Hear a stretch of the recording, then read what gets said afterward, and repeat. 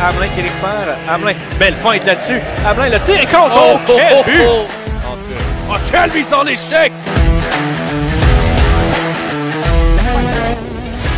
Un échappé, Carpentier. Oh!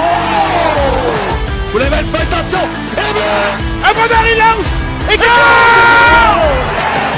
Charpentier avec le 10 contre de l'autre côté, le but!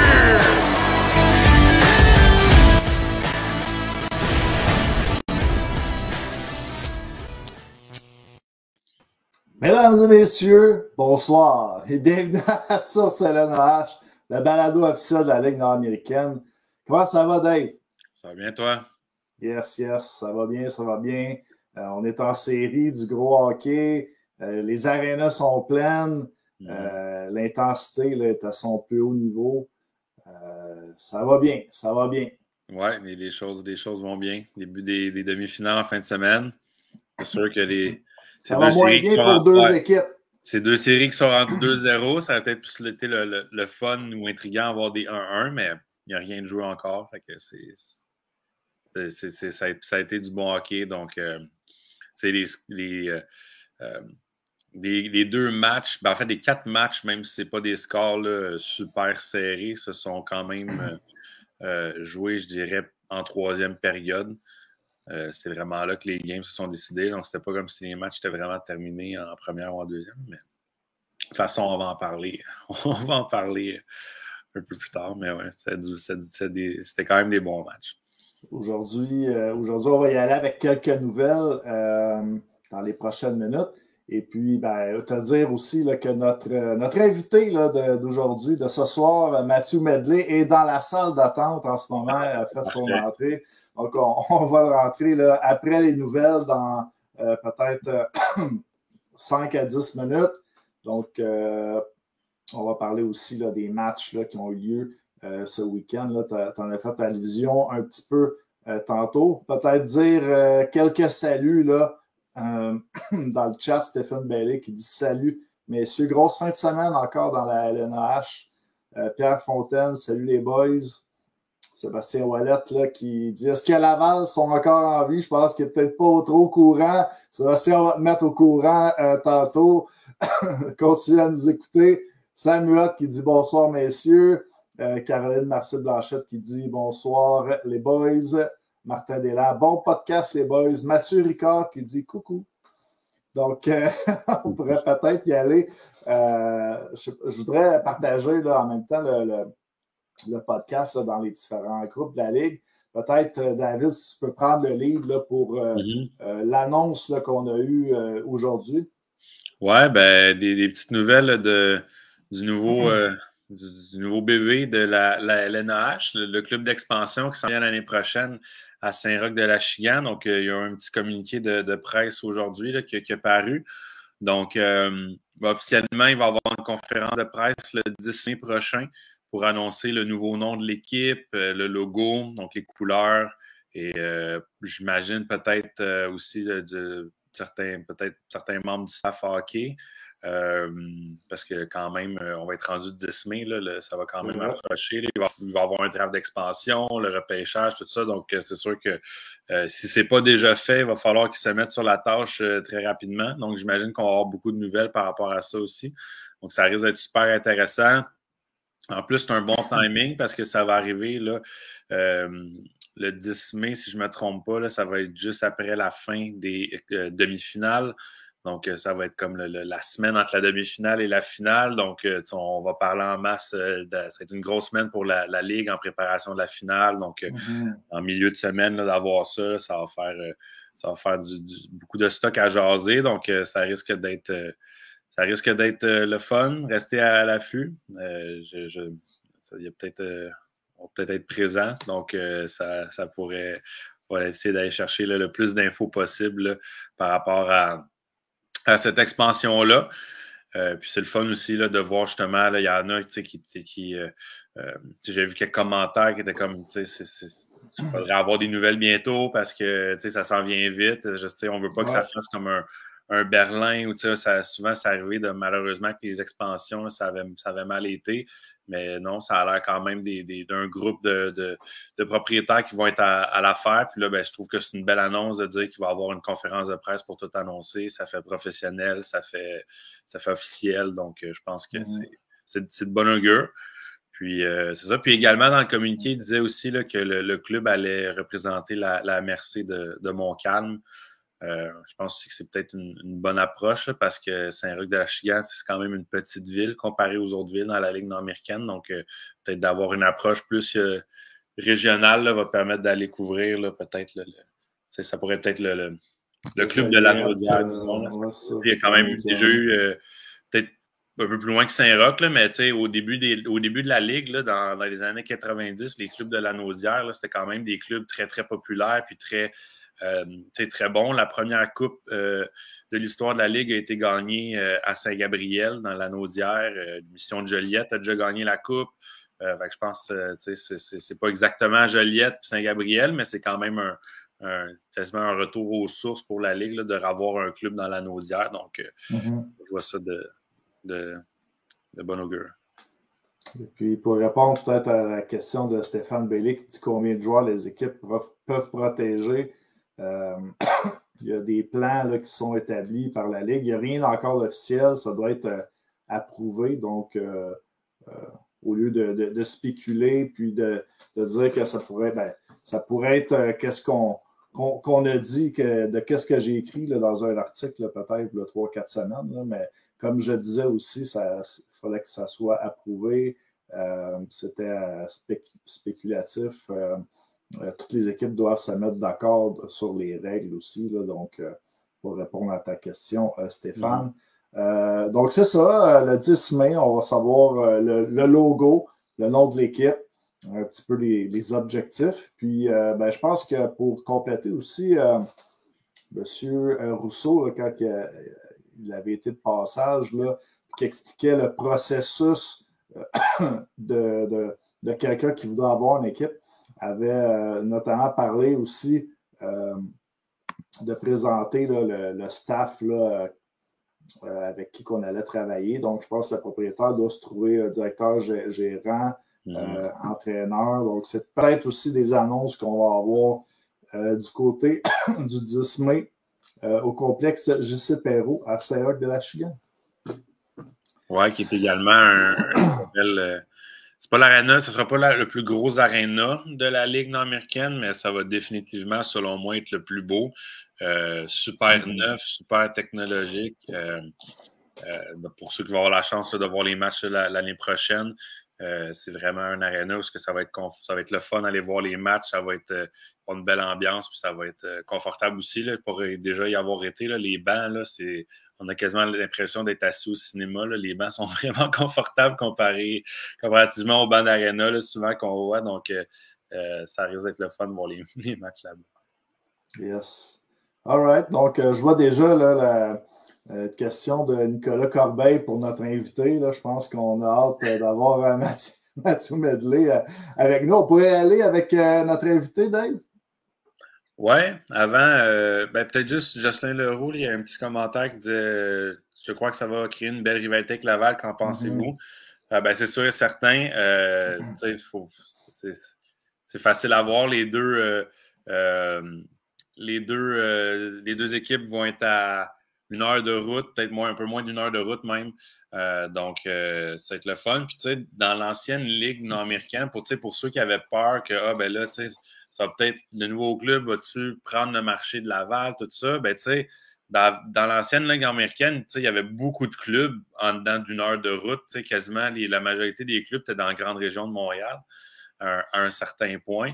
Euh, puis si, il n'y avait pas de problème de foule, c'était même dans le temps de, la grosse ligue, comme, comme on, comme on dit. Donc, euh, euh, moi, je pense que c'est juste, juste bon. Puis c'est le fun en plus parce que, tu sais, mm-hmm.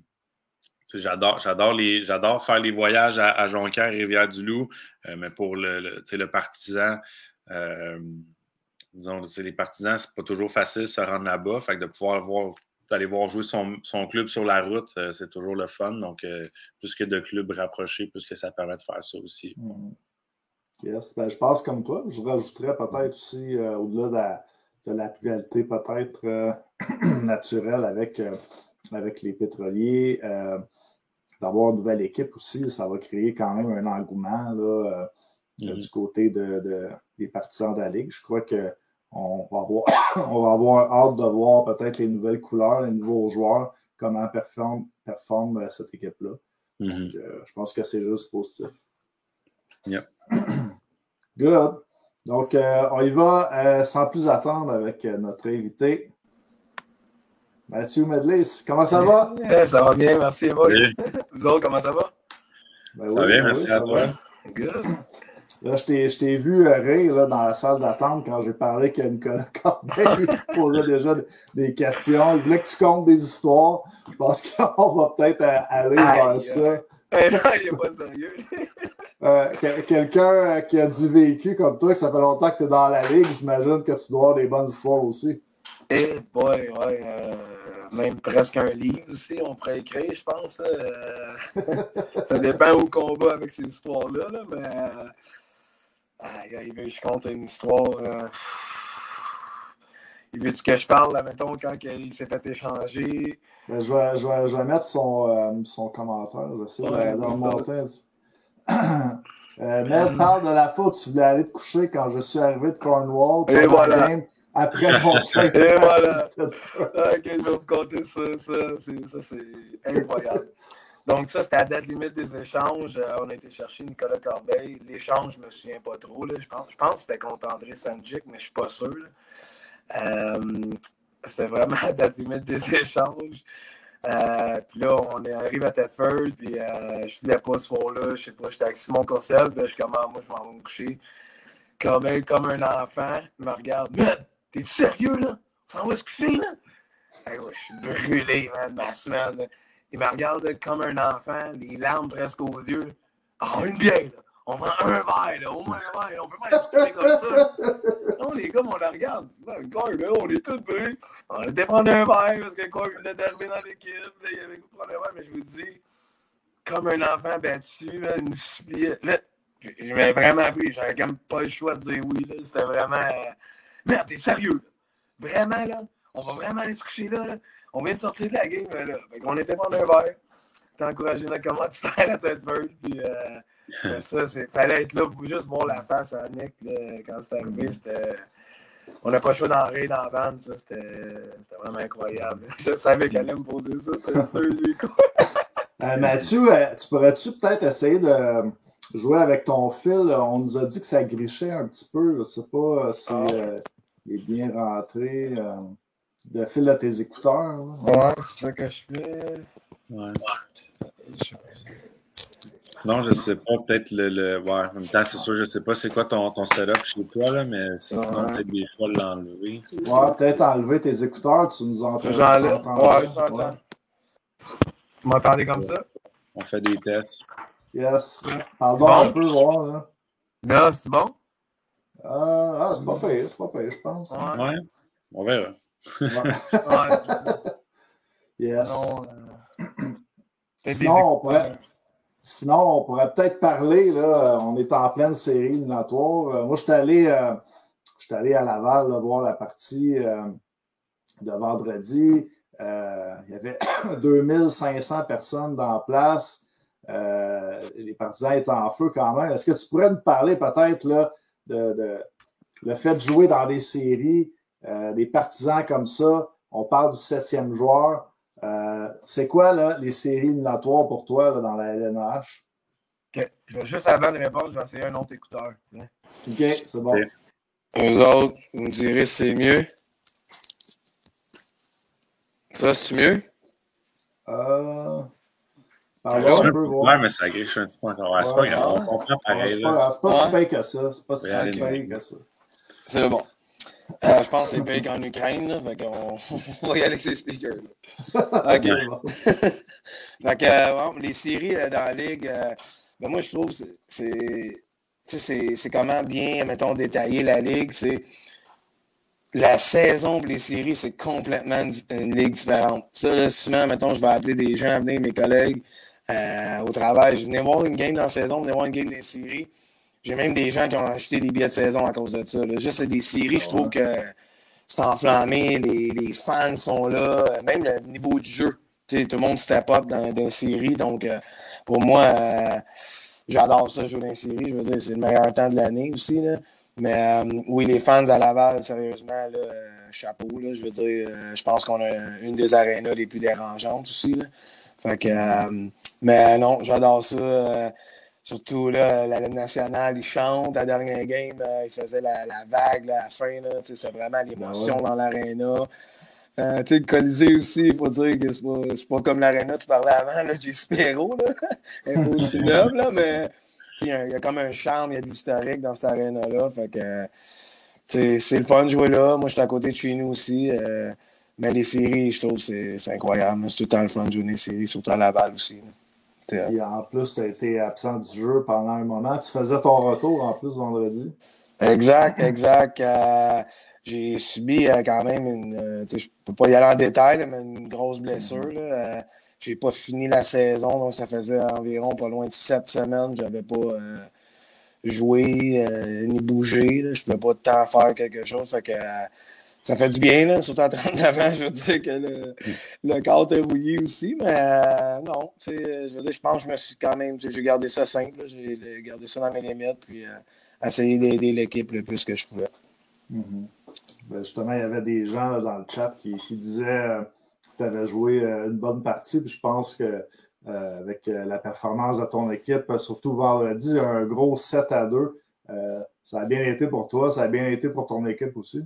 Ouais, exact. Euh, euh, tu sais, des fois, le score, il faut faire attention à ça aussi. Là, après un, c'était un à un.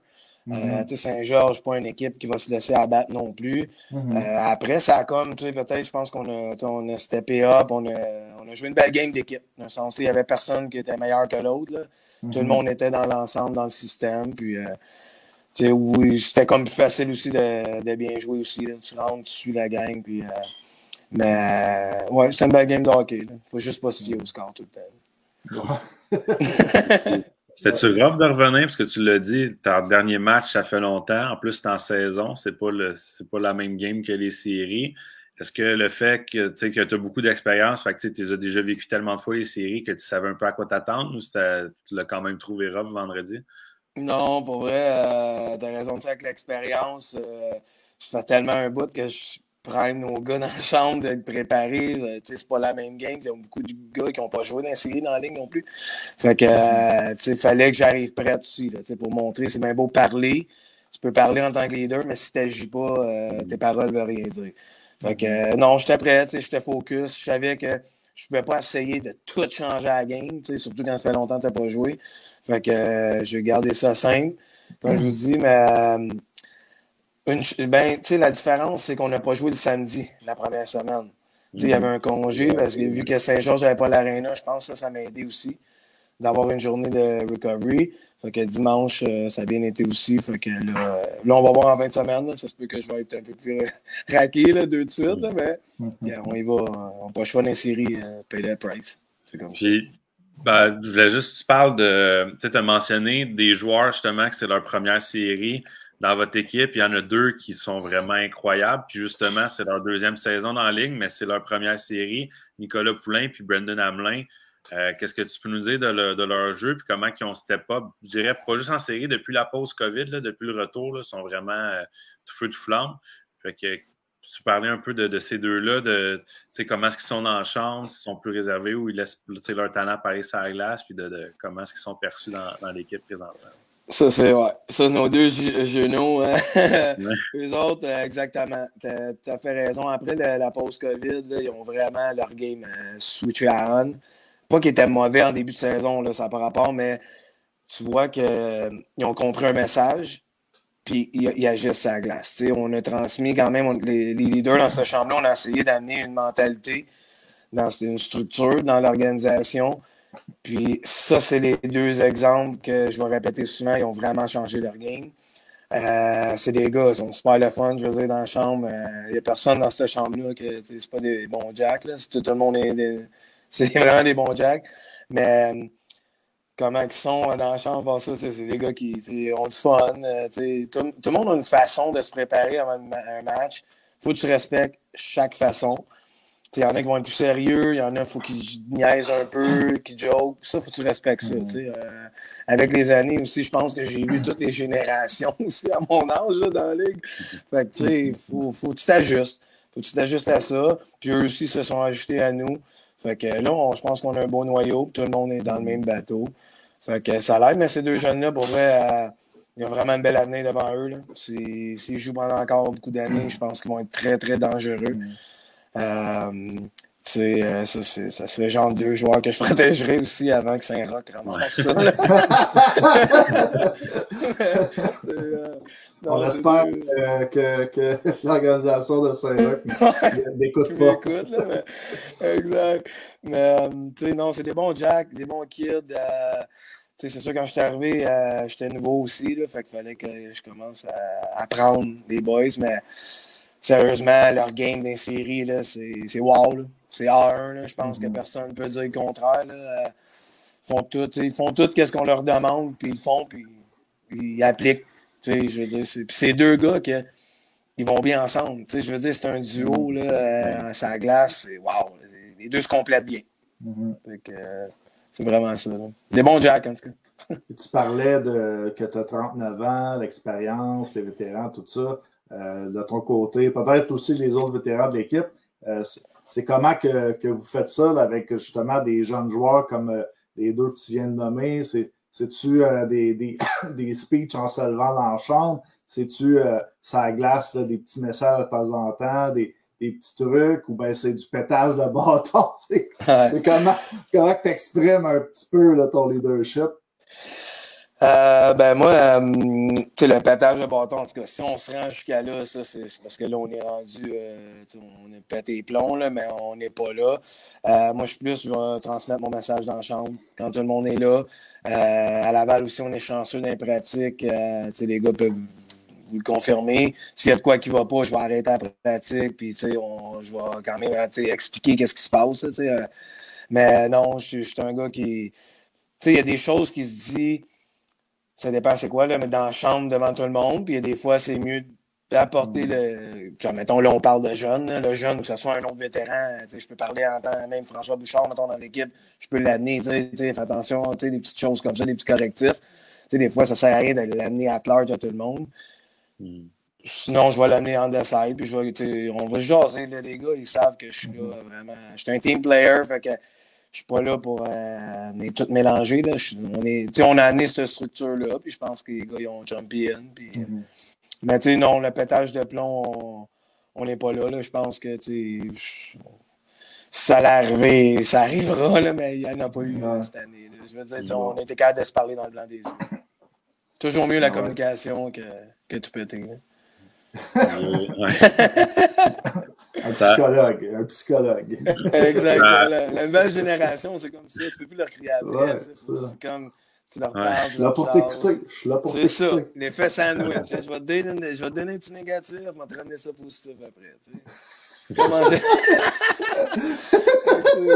en gestion, c'est ça qu'on fait. On n'a pas le choix. Hein, bon, après le livre LNH, ça va être le livre, le livre de psychologue. De... Exactement. Yes. on voudrait regarder aussi avec toi ton parcours parce que c'est quand même intéressant. on va peut-être se, porter dans ta mémoire dans le passé un petit peu. Mais si on regarde, euh, euh, j'invite les gens à ouvrir euh, Elite Prospect. Dans le junior, tu as joué pour La Plaine, Terrebonne, dans le junior 3, pour les remparts de Québec aussi dans la JMQ. comment s'est passé peut-être ton parcours junior de ce côté-là? Ouais, junior, euh, le sens j'étais plus petit. Tu sais, j'avais pas de 16, je veux dire, j'étais pas pesant, tu sais, j'étais comme plus un défenseur rapide, puis j'étais un défenseur one-way. J'étais seulement offensif. Euh, puis dans ce temps-là, je ne sais pas si vous vous souvenez, il y avait encore la ligne rouge. Fait que c'était souvent les mm. grands défenseurs qui mm. gardaient euh, la trappe, là, les grands qui tupaient by the board. Fait que euh, il y a un jour, ma dernière année, junior 3, j'ai tombé à 20 ans à la plaine. J'ai eu un des, un des meilleurs coachs qui m'a transformé, c'est Christian Plante. Euh, lui, me, la première journée qu'il m'a rentré dans son bureau, m'a dit Mathieu, je vais, je vais te rendre un défenseur complet. Tu vas être aussi bon défensivement qu'à l'offensive. Fait que parfait. Fait que lui, il me faisait pratiquer deux contre un. J'accordais une shot à deux contre un. Je faisais des push-ups. Euh, je t'ai dit, j'étais dans l'armée. Mais cette année-là, je suis devenu le meilleur défenseur de la ligue. Mm-hmm. Après ça, j'ai eu des offres à aller jouer pro.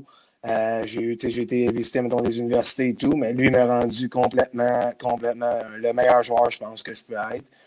Ça, ça m'a ouvert beaucoup de pas. Ça, j'en remercie beaucoup. Là. Euh, après ça, c'est ça. J'ai comme pas été chanceux junior. Il y, a, une année que j'aurais pas été changé à Val l'année de la Coupe Memorial. Puis j'ai refusé. Je voulais rester pour la, la, Coupe Memorial à Québec qu'on avait, qu'on recevait. Euh, j'ai pas eu la, la, chance de jouer parce que je me suis blessé au poignet. Mais au moins, je voulais rester là. Puis moi, mon chum d'enfance, c'est David Massé. Dave, il, était là aussi à Québec. Fait que, on a grandi ensemble. Euh, fait que, junior, c'est comme ça. Je pense que j'ai été j'étais comme juste pas à la bonne place au bon moment aussi. Là. Puis après, quand je suis devenu mm-hmm. là, l'année après, à 20 ans, je suis parti pro. Là, j'ai pris du coffre. L'été, je me suis entraîné. Puis là, tu sais, qu'est-ce que Christian m'avait appris, je l'ai amené pro. Puis là, c'est là que ma carrière a développé. Là. Tu sais, ma première année euh, au Texas, euh, le coach m'adorait. Il voyait que je voulais gagner. Tu sais, j'étais un gamer. Puis euh, ma deuxième année après ben là, c'est ça. On a fini junior, là, après je suis parti. C'est dans la CHL, là, pour les gens qui, nous écoutent. C'est quoi jouer là? Ouais.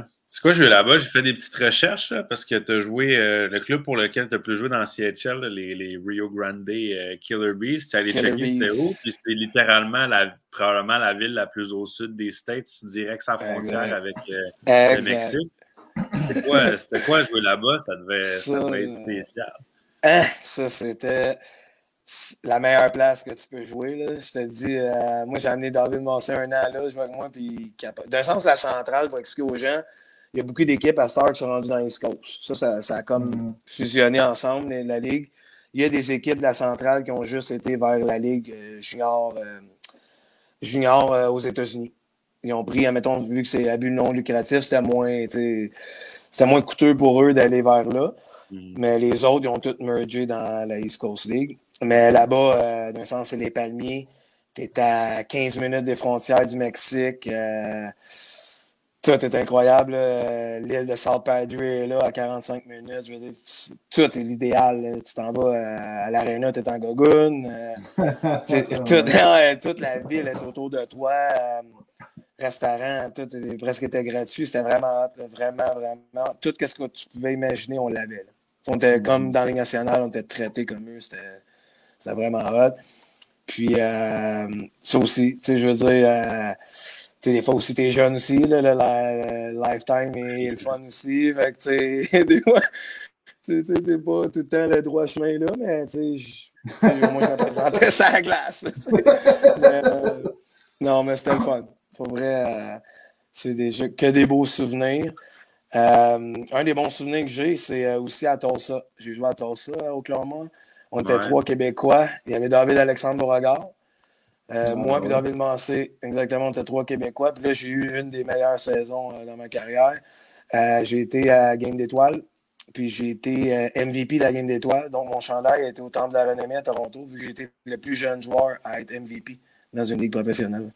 Fait que ça, c'est un exploit que, ouais, pas tout le monde sait ça, c'est pas partout, mais c'est de quoi je suis fier quand même. J'ai eu le chandail qui est quand même dans un cadre, puis mais à Oklahoma, là aussi, on avait un bon coach. Puis, en tant que Québécois aussi, on s'entraidait beaucoup. Fait que c'était le fun. des fois, tu es ailleurs, tu es tout seul.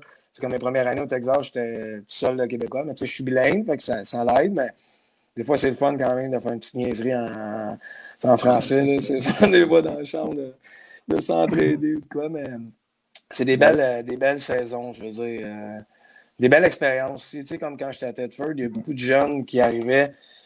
Pas que, tu sais, il y a souvent des coachs, l'ancienne mentalité dans la Ligue nord-américaine, ils voulaient garder ces jeunes-là, tu. Mais en même temps, moi, j'explique aux jeunes, c'est quoi tu veux? Tu veux-tu avoir une chance? Tu veux-tu vivre de quoi? Tu sais, moi, j'empêche jamais un jeune. Tu sais, oui, je veux gagner, là. Je mais faut pas t'empêcher le jeune d'aller expérimenter. Tu sais, comme je donne un exemple, Simon Bourque, là qui retourne en Europe, il voulait voyager. C'est des choses, tu ne peux pas bloquer ces jeunes-là. Je ne dis pas que Tadford le faisait, c'est pas ça que je dis, mais avant ça, dans le temps, il y a beaucoup de jeunes qui étaient bloqués. Et, non, non, on va pas là, blablabla. Mais il y a souvent des jeunes, je dis, gars, va essayer, vas-y dans le code, vas-y dans et jouer dans la Ligue américaine, vas-y, bon, donne-toi une chance. Les gars, ils sortent, des fois, je junior, puis ils arrivent tout de suite. Ça dépend, des fois, euh, tu as déjà un job qui t'attend, mais euh, je suis quelqu'un, faut, faut que tu donnes, je veux dire, faut que tu essayes. Va vivre ce que tu as à vivre. Il y en a qui aiment moins ça de partir du Québec, là, mais moi, j'ai pas j'ai rien à regretter. Ma femme aussi est venue, euh, est venue les dernières années, puis elle y retournerait. Là, on n'aurait pas d'enfant. C'est vraiment des belles expériences. C'est des. La CHL, il y avait des équipes qui étaient affiliées, un petit peu comme la, East Coast avec des équipes de la Ligue euh, américaine. Donc, euh, c'était dans une structure avec des organisations. Est-ce que tu avais un peu des feedbacks peut-être des organisations mères euh, qui te jouaient? Oui, ben j'ai entendu ça. Après, l'année, après ma première année ou deuxième année, j'ai une invitation à aller au camp des Stars. Fait que ça, vu que j'avais une bonne saison, j'ai fini, mais je pense, mm-hmm. recrue de mon équipe, pas de la ligue, mais meilleur recrue de mon équipe. Euh, j'ai une offre aller, euh, j'ai été invité au camp des Stars. Fait que ça, ça a ouvert des portes. Euh, mm-hmm. après, je suis retombé dans la Ligue américaine. J'ai eu un accident d'auto là-bas en revenant de l'hôtel. Fait que ça, ça comme j'ai pas eu de chance de me faire valoir. Fait que euh, après, c'est là, c'est là quand j'ai descendu que j'ai eu la grosse saison, que j'ai été à la game d'étoiles. Puis, euh, tu sais, qu'est-ce qui est dur avec les Stars, c'est ces années-là, en 2006-2007, si tu regardes le roster, y a, eux autres, ils allaient pour la coupe. Fait que c'était comme dur de percer mm-hmm. l'alignement quand t'as des Sergei Zubov, euh, tu Hatcher qui était là, c'était comme, eux autres étaient paqués pour aller jusqu'au bout. Fait que, tu sais, c'était juste pas être à la bonne place au bon moment. Je dis pas que, ben, peut-être dans une équipe de reconstruction, ces années-là, mm-hmm. J'étais quand même plus rapide. La, ligue changeait. La mentalité du hockey, on voulait des défenseurs mobiles qui distribuaient la rondelle. j'aurais pu peut-être, mais c'est pour ça que souvent être à la bonne place au moment. Exact. T'as 10 ans trop tôt. Oui, exactement. J'étais vraiment 29, là, je ne suis pas payé. non, mais tu sais, je regrette rien. Je regrette rien. Eu, euh, avant de revenir au Québec aussi, euh, euh, je m'en allais en Europe. Puis là, ma femme m'a annoncé qu'on allait avoir un enfant. Fait que là, quand j'ai rappelé l'équipe en Europe, ils m'ont dit ben, on, va, on offre la naissance de ton enfant là-bas. Là, ouf. Là, OK. Là, rappelle la, femme, dit ouais, là. Euh, puis elle, elle travaille dans le système de la santé. Fait que là, elle était comme ouais, mais en Europe, c'est pas pareil. C'est notre hmm. première. J'aimerais ça qu'on soit au Québec, nos parents. Fait que, OK, c'est correct. Mais là, l'entente que j'avais, mais moi, c'est sûr que je joue au hockey. Tu sais, je veux dire, c'est quand même hmm. fait partie de ma vie c'est là que j'ai été repêché par les Chiefs de Saint-Jean, Saint-Jean-sur-Richelieu. Puis j'ai eu un offre, une belle offre euh, pour travailler euh, gouvernemental. Je travaille au gouvernement depuis 13 euh, ans, 13, 14 ans. Depuis 2008, ça. Je travaille au gouvernement, fait que j'avais un bon travail. En même temps, les Chiefs m'ont repêché. Ça a comme aidé à faire ma décision. Fait que, tu sais, je regrette pas. Mais... Des fois, je lui ramène parce que ma fille est rendue très bonne au soccer. Que je dis, en Europe, elle aurait eu deux citoyennetés. Là, elle, a déjà. Là, tu devrais suivre euh, ta fille pour euh, essayer de, de, vivre le rêve en Europe. Le rêve, exact. euh, mais tu sais, un moment cocasse, c'est à 34 ans. J'ai un offre pour tourner en Europe. Hmm. Un offre à 34. Fait là, ma blonde dit, gars, vilez on va venir te voir, mettons, aux deux mois ou à chaque mois. On va monter, on ira te voir.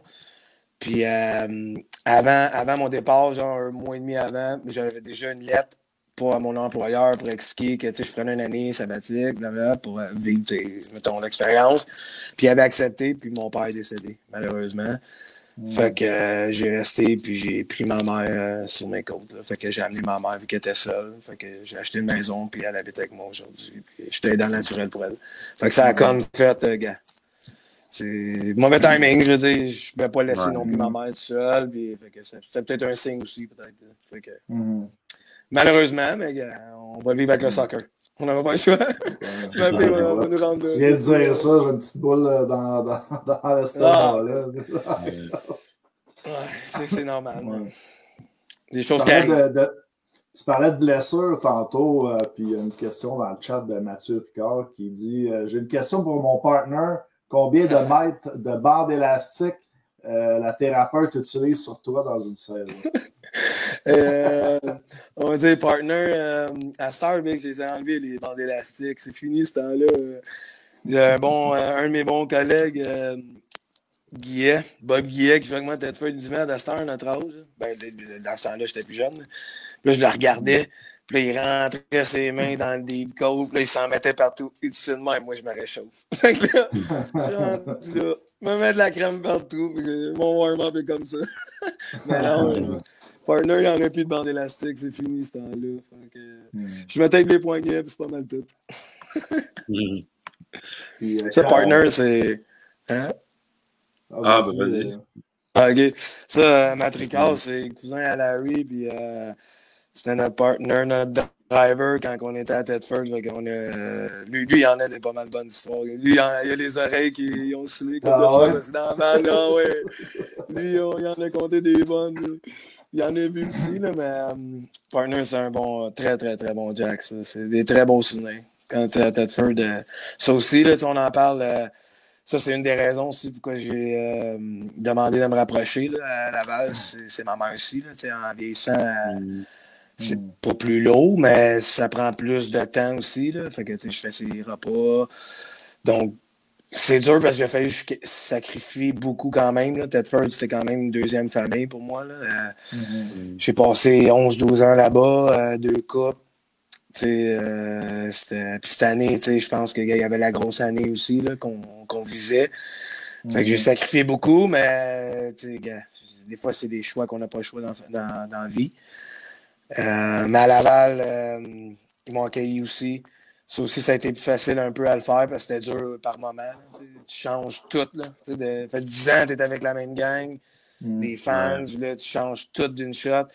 Mais ils ont quand même m'ont aidé beaucoup. Là. Je veux dire, ça, ça s'est bien passé. Là. Je trouve que fait du bien. Je pense que ça ne pas bien passé, ça aurait été ma dernière année cette année. Je vous confirme. Mais mhm. je pense que je suis capable encore. Qu'est-ce que, ça veut dire? Ouais, ça, ça veut dire que l'année prochaine. Euh... le Med is ah, le Med is back. Tant, que, tant que le corps euh, va suivre, euh, souvent, euh, mon agent me disait avant, il dit tu, tu vieillis, mais tu es encore jeune à l'intérieur. Fait que, j'ai encore le désir, le, vouloir de jouer, de compétitionner. Quand le corps ne suivra plus ou il n'y aura plus de deep code dans le pot, c'est là, que ça arrêtera. mais euh, pour l'instant, euh, je veux dire, je vais au jour le jour, mais euh, je m'amuse. Mais...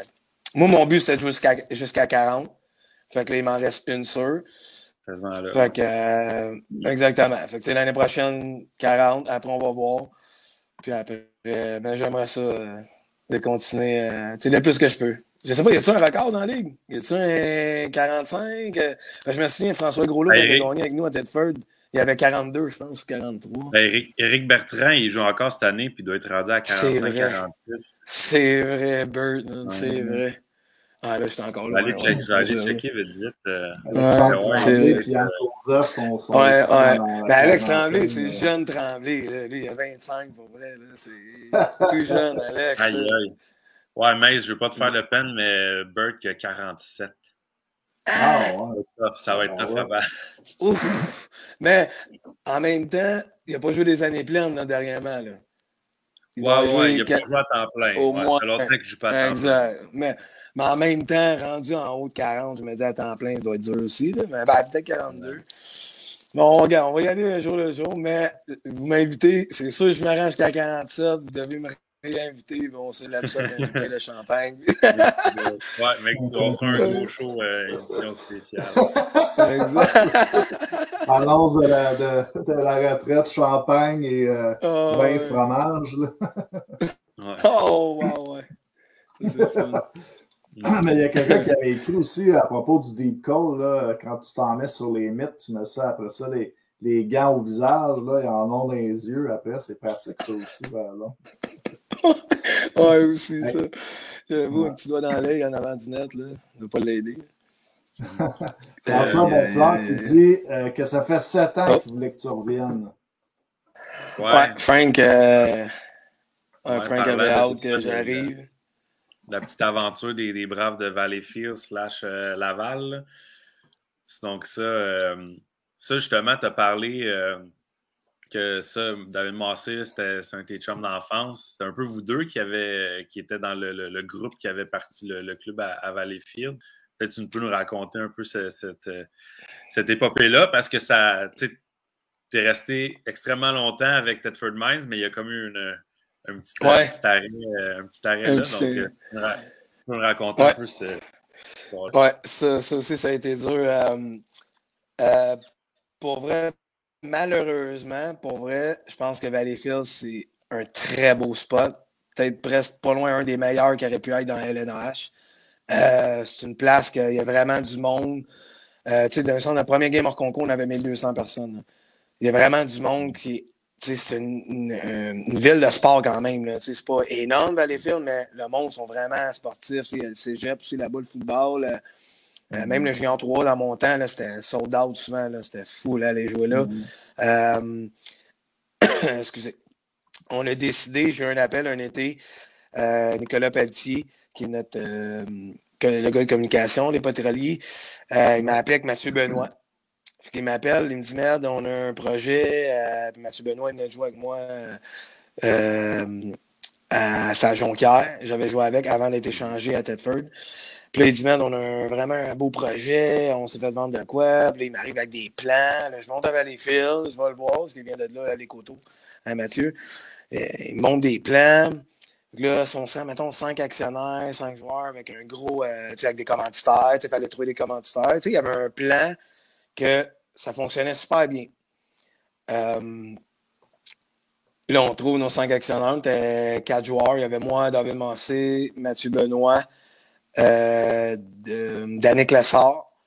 Puis c'était Nicolas Petit. C'était pas un joueur, mais c'était l'autre actionnaire. Puis on avait deux, euh, deux gros euh, propriétaires, actionnaires qu'on appelle. Nous, on était des cinq co-actionnaires. On avait Daniel Larocque, qui, avant, qui était mon propriétaire des Chiefs de Saint-Jean. puis l'autre. Non, on avait un Dan d'un sens. Je pense que lui, il avait un associé, mais c'était Dan qui était vraiment là comme le majeur. Euh, puis, Dan, quand même, c'est quelqu'un qui vient de là. Fait que, tout le monde le connaît, les commentaires entraient. Euh, mm Tout allait super bien, là, je vous dis. Puis là, il y a un temps, année, Dan m'a comme dit, il dit Matt, il dit malheureusement, il va falloir que je vende mes parts. J'ai comme plus le temps en plein milieu de l'année. Fait que là, ça a fait ouf. Les commentaires vont se rester. C'est qui qu'on va avoir comme actionnaire? C'est un gars de la place qui va arriver. Euh, mais tout avant ça, avant qu'on commence tout, moi, il a fallu que je monte. Ça, ça, ça a été dur. je me suis encore de la face propriétaire d'Edward. Euh, je l'appelle en premier, je dis euh, c'était Stéphane Bourque à ce moment-là. Steph, j'ai de quoi te, demander. Je dis on essaye de quoi? Je te dis pas que c'est bien, je te dis pas que c'est mal, c'est nouveau. Je veux dire, j'embarque dans le quoi, je vis le moment. on va partir en équipe. Puis il est comme Quoi? on, essaie de, on va partir une nouvelle équipe, on va venir à l'Assemblée. J'aimais mieux t'en parler avant que tu me vois, que j'ouvre la porte, tu me vois là, tu sais. Fait que euh, là, il est comme, euh, t'es es sérieux, man? C'est-tu au moins, ils m'ont montré les plans, ça, ça fonctionne. J'ai étudié en comptabilité à l'école, fait que, tu sais, les chiffres, c'est pas mal. Euh, J'aime ça jouer dans les chiffres, fait que. Fait que tout est là. Fait que là, il dit OK, c'est bon, on va se voir là-bas. Là, là, après, on n'a pas parlé d'échange encore. Là. Fait que là, moi et Nick Petit, on a monté à l'Assemblée à Saint-Georges. Il a fallu faire un speech devant tous les dirigeants, les propriétaires, expliquer notre plan. C'est vraiment comme ça que ça s'est arrangé. Là. Je me suis encore d'ouvrir la grande porte. il n'y a pas un son, t'en talk. Tu sais que tout le monde te regarde. je vais donner la main à Tedford, Bobby. Je me souviens, Bobby Barry me regardait. J'étais assommé. C'était c'était pas personnel. Là. Je veux dire, j'essayais de quoi. On, on, vit, on essaie des choses en vie. Puis. Euh, quand même, euh, sûrement un rêve aussi d'avoir un. Exactement. sais, en même temps, joue. C'est ça, c'était un projet. C'était hot. Là. ça a malheureusement peut-être moins bien fonctionné, mais il y avait de quoi fonctionner. Je pense que si Dan reste, je pense que ça, ça aurait bien fonctionné. Fait que là, fini l'Assemblée, ça a été accepté. Euh, fait que là, après, euh, repêchage à faire, mais la, seule chose qui est arrivée, puis ça, je souhaite à Saint-Roch de mettre leurs pieds à terre, c'est que nous, à Valleyfield, on n'a rien eu pour commencer. Je ne sais pas si vous vous souvenez, là. Il n'y avait pas de mm. les listes de protection, je pense que les équipes. Ouais, il y avait genre trois lignes de protégés par équipe. Exactement. C'était une joke. Là. Trois lignes, je pense cinq défenseurs. on avait. Euh, les gars, mettons, qui laissaient sa liste, c'était un gars qui habitait à Rivière-du-Loup, là, tu sais, que ben, les films, ouais. ça marchait pas, là, tu sais, fait que on s'est fait vraiment, pas aider, là. Tu sais, en même temps, c'était plate, parce que dans ce temps-là, ils disaient, oh, on veut des nouvelles équipes, mais vous nous aidez pas, tu sais. Fait que, tu sais, c'était plate parce qu'on est parti avec une équipe vraiment, puis là, on a fallu qu'on échange, moi, David Massé. Mm. Il a fallu qu'on aille les chercher, là, nos joueurs, là, les coactionnaires. On ne peut pas laisser un coactionnaire dans une autre équipe, puis tu sais, équipe. C'est pas arrangé par tout. fait que là, c'est ça. Puis là, après, quand Dan a vendu à. C'était M. Eric La Jeunesse, que lui, venait de Saint-Jérôme. Puis la manière nous a rencontrés, il dit Gars, moi, je vais sûrement. Je vais déménager l'équipe à Laval. Moi, je suis un gars de Saint-Jérôme, fait que j'aurais plus de commanditaires. Fait que là, on est parti à, Laval. Là, à Laval, euh, c'est pas de sa faute à lui. Là. Je pense qu'il n'y avait juste pas de structure. Euh, on arrivait dans les pratiques, on était 50. On arrivait sur la route pour jouer une game, on était 13.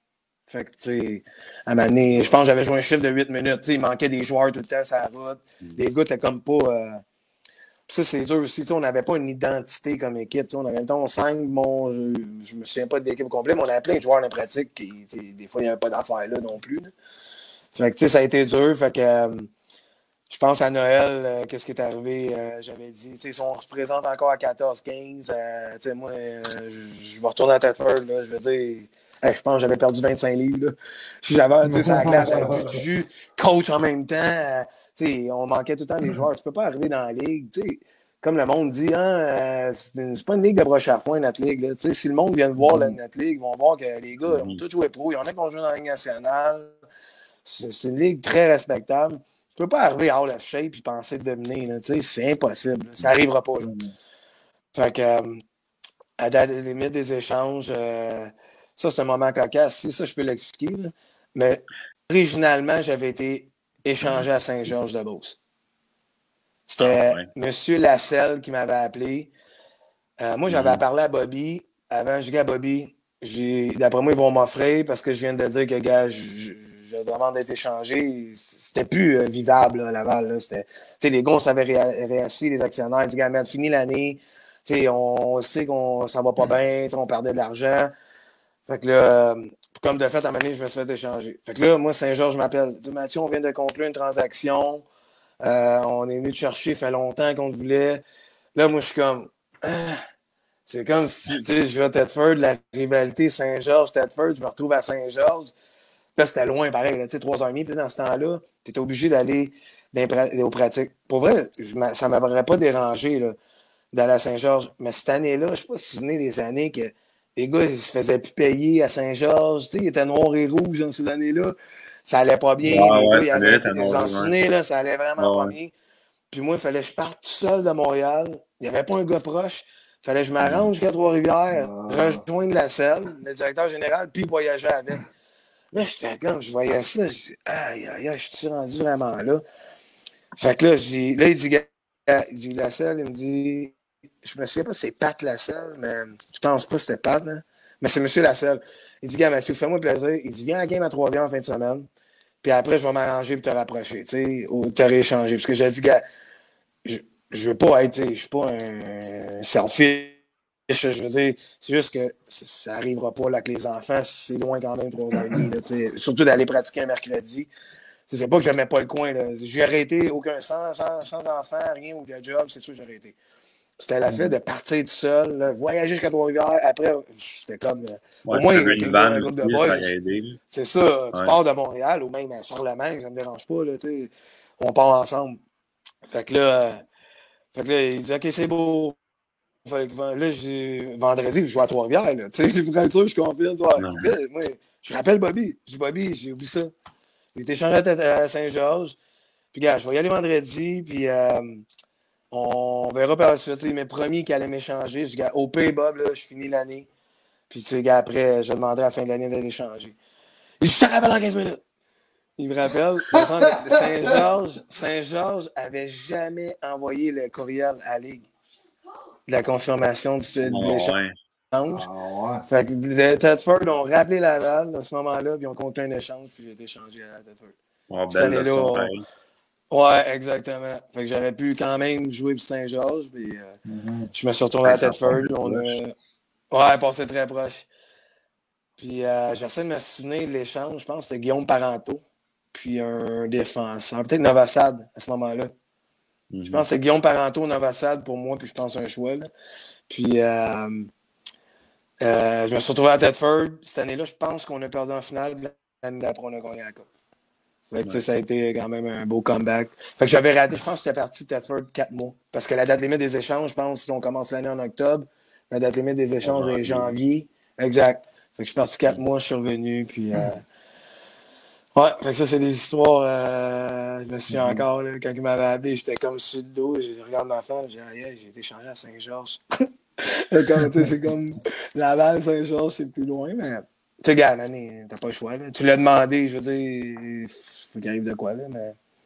mais malheureusement, c'est ça. Pour les fans de Saint-Georges, j'aurais pu être un cool FM euh, pendant peut-être un an. quand même, quand même. Quand euh, même, exact. Jean-Michel Poulin qui a écrit Ça aurait été incroyable. Euh, Jean-Michel qui est le descripteur là, de, de l'équipe du Cool FM. Exact.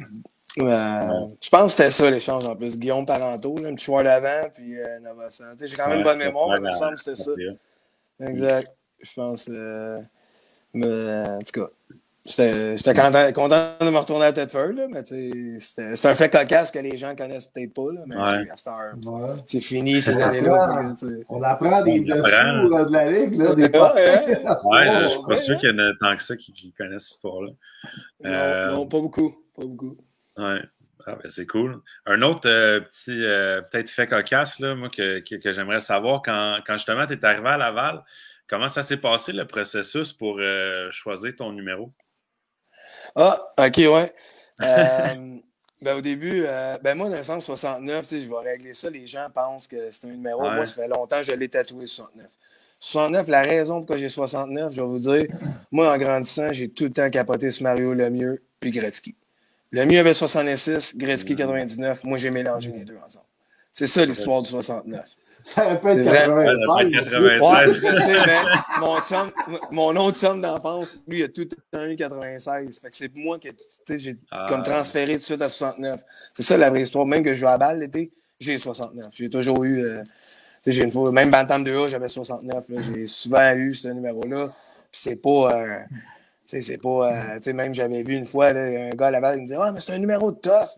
pas parce qu'il y a un film qui avait un tough avec le numéro 69 que c'était un numéro de tough. Là, ça reste un, un numéro. Il ne faut pas voir ça euh, comme un chiffre un peu pudique, mettons. Là, mais non, non, moi, c'est vraiment l'histoire de ça. C'est vraiment Gretzky le mieux mélangé ensemble. J'ai toujours adoré. Puis c'est un chiffre unique. Il n'y en a pas dans le national aussi. Plus en Europe. Là, mais en Europe, les gars, ils ont plus des chiffres euh, élevés, des numéros élevés. Mais c'est ça l'histoire du 69. Mais même au début, je ne l'avais pas. J'ai eu 79 parce qu'il n'avait pas 69. Hmm. Puis euh, le temps qu'il fasse le chandail, fait qu'après j'ai eu 69. Puis, euh, Fait que ça me revient à mes racines, tu sais. Je reviens à Laval. Ouais. Avec mon 69, tu sais, avec le. ouais, c'est ça. Mais il y, a Martin Simoneau de Tedford dans le chat qui dit Ouais, pourquoi tu avais, 47 à, à Tedford, pourquoi tu n'avais pas 69 euh, OK. Euh, pourquoi ça? Parce que euh, Danick, dans le sens, c'est comme un petit frère. Tu sais, Danick, euh, moi, je l'ai vu grandir. Danick, Lucien Paquet, son père, aussi, m'a beaucoup aidé dans le hockey. c'est comme une petite famille. Hein? Tu sais, moi, David, mm-hmm. Lucien, Danick, on se connaît depuis toujours. Là. Tu sais, notre famille, on grandit ensemble. Donc, Danick, tu sais, il a son magasin aussi, Sport 47. Fait que, tu sais, moi, je ne mm-hmm. m'estimais pas parce que même lui, il sait que j'ai tout le temps eu 69. Comprenez? Fait ça a été facile de faire, regarder en 30-47, je vais prendre mon 69. Comprenez? Tu sais, le monde, c'est pour ça qu'il ne savait pas toute cette histoire-là, mais 47, oui.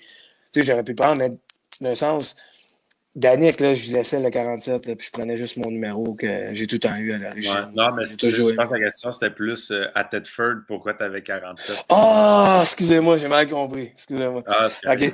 Pourquoi j'avais 47? Euh, quand je suis arrivé professionnel, euh, ma première année, j'ai eu 44. Quand j'ai été changé à Tulsa, euh, le 44 est retiré pour un. je pense que c'est un joueur québécois en plus, que son chandail, son numéro est retiré. Fait que j'ai jumpé sur 47. c'est là que j'ai eu ma grosse saison. J'ai toujours gardé 47 à partir de ce moment-là. Fait que j'ai comme aimé euh, le numéro. Puis euh, ça m'a suivi. Fait que quand je suis revenu même à Saint-Jean, j'avais 47. J'ai toujours gardé 47 par la suite. Euh, puis après, comme là à Laval, j'ai eu l'occasion juste de reprendre le 69, faire un changement aussi. Tu sais, il fallait que. Mm. ça aussi, je l'ai expliqué ça à Bobby, là, souvent, avant qu'il conclue l'échange. C'était déjà dur d'accepter de quitter Tedford. Euh, sincèrement, que fallait quand même que, tu sais, déjà, revenir, tu sais, des fois, ça a l'air stupide, c'est un chiffre, un numéro, là, mais je pense mm-hmm. d'avoir changé de numéro et tout, ça a comme aidé à faire le, mm-hmm. changement. Tu vous comprenez? Ça... Exactement. Tu sais, c'est à ce point-là j'ai du respect pour euh, Tedford, la ville de Tedford. Euh, je pense que ça a juste aidé de, de faire le changement. Même des fois, c'est dur, là, je veux dire, de, de, juste d'y retourner, là, c'est, puis de ne pas être le côté d'habitude que j'avais, là, mais ça, c'est la vie. Je pense qu'on n'a pas le choix. Souvent aussi, je me suis assis avec mon frère, il me l'a dit, là, il sait là, comment je suis. Là. Je trouvais ça dur là, au début. Là. Euh, mais que veux-tu? C'est moi qui ai le moton, le Seb. parlant, de, de, de moton, euh, c'est sûr qu'on ne s'avancera pas trop loin parce qu'il reste beaucoup de hockey à jouer, mais ça serait quand même envisageable une finale Laval contre Tedford. Ça, ça serait spécial pas mal. Eh, exact, ça serait pas mal spécial. Là, Sérieux, je, suis juste sans mots. Là. Je sais pas comment. C'est sûr, ça, glace, ça se passe à la glace, je veux dire, mais je pense c'est. On dirait que le bon Dieu fallait qu'il fasse ça. Là, je veux dire, il fallait qu'il nous réunisse quelque part. Puis, euh, euh, fait qu'on verra par la suite si on ne peut pas s'avancer, comme tu dis, Dave, là, mais euh, c'est, des odds qui peuvent arriver pas mal, là, je pense, présentement. Là, Tedford est quand même la machine de la Ligue. On ne se cachera pas. Là, je pense que sont, sont quand même stack. Là. Une très, très belle équipe, très bien coachée, très, très belle structure Tedford. Donc, euh, ils méritent quand même d'être en finale. Euh, Sorel non plus, ils ne sont pas battus. Euh, je pense que c'est une équipe qui a du caractère. Mais oui, c'est sûr que ça serait spécial. Ça serait très, très spécial de jouer contre mes, mes bons chummies. J'avais un commentaire sur la vue, peut-être pour revenir un peu avant, mais Marc-André Huot, qui, a joué longtemps à Trois-Rivières, puis ben, qui a joué à Sorel aussi, euh, il dit lui aussi, la selle l'avait appelé pour dire qu'il avait été échangé à Saint-Georges, mais ça ne s'est jamais passé. aïe, aïe. Je me, demande, je me demande, il y en a combien de joueurs qui ont reçu, qui ont reçu cet oh, appel-là maintenant? Il y en a peut-être plus qu'on pense. Ouais, là, exact. Fait que là, j'ai peut-être ouvert une porte pour M. Nassel. Tu sais. Je pense qu'il n'y a pas une job encore euh, dans l'île. Mais... Euh... fait que là, Saint-Georges, vous auriez pu avoir des joueurs en fin de compte que vous n'avez pas eu. Mais... Euh, ouais, ça se peut. Tu sais, des fois, euh, tu sais, une transaction ne se fait pas juste au téléphone. Hein, il y, y, a des étapes, un processus à faire pour conclure l'échange. Donc, si tu ne vas pas jusqu'à la fin, c'est une leçon à avoir, ça, pour les directeurs généraux. Mais mm-hmm. c'est bon de savoir que je ne suis pas le seul aussi. Hein, c'est plate, c'est encore Saint-Jean, mais. Mm-hmm. mais exact, c'est des choses qui peuvent arriver. Ça, c'est comme un line-up. Tu oublies de mettre un nom dessus, puis euh, tu perds la game à cause de ça. Ça peut arriver. c'est des ça arrive. Il y a d'autres euh, messages là, dans, dans, le chat. Là. Euh, Gabriel Lemieux qui est là. ah, ah, fiston. Il dit le père, ouais. Puis Mathieu Ricard qui euh. disait que le père tapait sur. Le, le, père ou le père? Le père tapait sur son aile à Tedford à tes débuts. Exact. De j'avais adopté deux, deux genoux à Tedford. Le premier, ça a été Gabriel Lemieux. Donc, euh, mon premier fiston, puis le deuxième, c'était Chris Lozier. Chris Lozier, ça a été mes deux. Ouais. Euh, les autres m'appellent euh, Daddy puis le pain. Puis, non, c'est ça, les autres, je les ai pris sur mon aile. un peu entouré, expliquer la ligue. je voyageais avec eux aussi, fait que ça a vraiment devenu des, des fils. Pour c'est comme un fils. C'est les deux, là je les prends vraiment comme ça. Là. Je veux dire, je ferais mhm. tout. J'irai à la guerre avec eux, n'importe quand.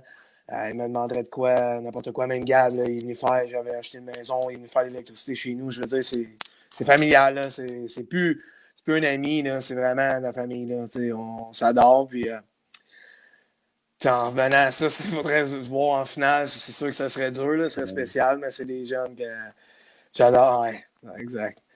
Là, là, ben, toute une famille. c'est Duster, ouais, c'est ça. Duster aussi, tu sais, c'est. C'est comme je vous dis, c'est une famille Tedford, fait que. C'est. C'est. Je suis sans mots, là. Chaque fois que je parle de ça, c'est émotionnel, là, mais Gab. Euh, en espérant qu'on va se voir en finale big, puis on jasera, on prendra une bonne bière après, c'est bon, euh, la piscine, puis euh, on en jasera après, mais c'est des gars que je vais respecter à tout jamais. Là. Même en fin de carrière. J'espère qu'ils vont être à ma retraite. Euh, avec moi, ça au, au, vin, au vin fromage à ta retraite. Exactement. Mais Larry, Larry, dans le chat, dit qu'il promet qu'à Saint-Georges, des trucs comme ça, ça n'arrivera plus jamais. c'est sûr. C'est sûr que Larry, Larry est animé là-dessus. Là. Je suis pas inquiète. Ouais, Larry, euh, ça... Ouais. Il y en a mis Si jamais ça arrive. Mais euh, André Lessard, là, qui, qui on parle de Tedford, euh, euh, ton temps, tu étais là très longtemps, ta relation avec tes deux fils. André Lessard qui dit Parle-nous donc de tes deux coupes parce que tu as, gagné deux championnats aussi là-bas. oui, ouais, exact. les deux coupes, ça. la première, très spéciale. Je ne sais pas si le monde se souvient, si on regarderait, mettons, le, calendrier. Nous, on avait, il restait. Ça, c'est l'année qu'il y avait six équipes. Il y a deux équipes qui ne faisaient pas les séries. Nous, il restait 11 games. Il ne fallait pas en perdre une à temps, euh, réglementaire. Aussitôt qu'on en perdait une, c'était fini. C'est sûr qu'on ne faisait pas les séries. Fait qu'une journée, on s'est rassemblés dans la chambre. Fait les boys, on sait qu'on a des travailleurs, on a une famille, on a des jobs quand tu arrives dans la chambre, on oublie tout. C'est vraiment ça qu'on s'est dit. On se met le gun sur la tête. C'est comme ça. On avance une période à la fois, une game à la fois, on ne regarde pas l'arrière. On a gagné 10 games de suite. On n'a pas perdu une game. La dernière, on a, je pense que il y en a une qu'on a perdue en prolongation. C'était la 11e. Fait qu'il a fallu que Rivière-du-Loup batte Saint-Georges à temps réglementaire pour qu'on passe. Puis cette année-là, on avait été chercher euh, Landry. Euh, j'ai Simon Landry, mais c'était pas Simon Landry. Euh, Yannick. Landry pour Steve Simoise. Puis fait casse, mais c'est Steve Simoise qui a scoré à 20 secondes de la fin pour Rivière-du-Loup, pour, pour battre Saint-Georges. Fait qu'on a passé dans les séries cette année-là. Fait que tu sais, ça, c'est quand même, là, ce groupe-là, on n'était pas l'équipe la plus talentueuse, mais on était tellement ensemble, soudés. C'est Larry Gab pourrait vous dire, là, on a vraiment gagné 10 games sans regarder vers l'arrière. Puis là-dedans, c'était toutes des bonnes équipes là, ces années-là.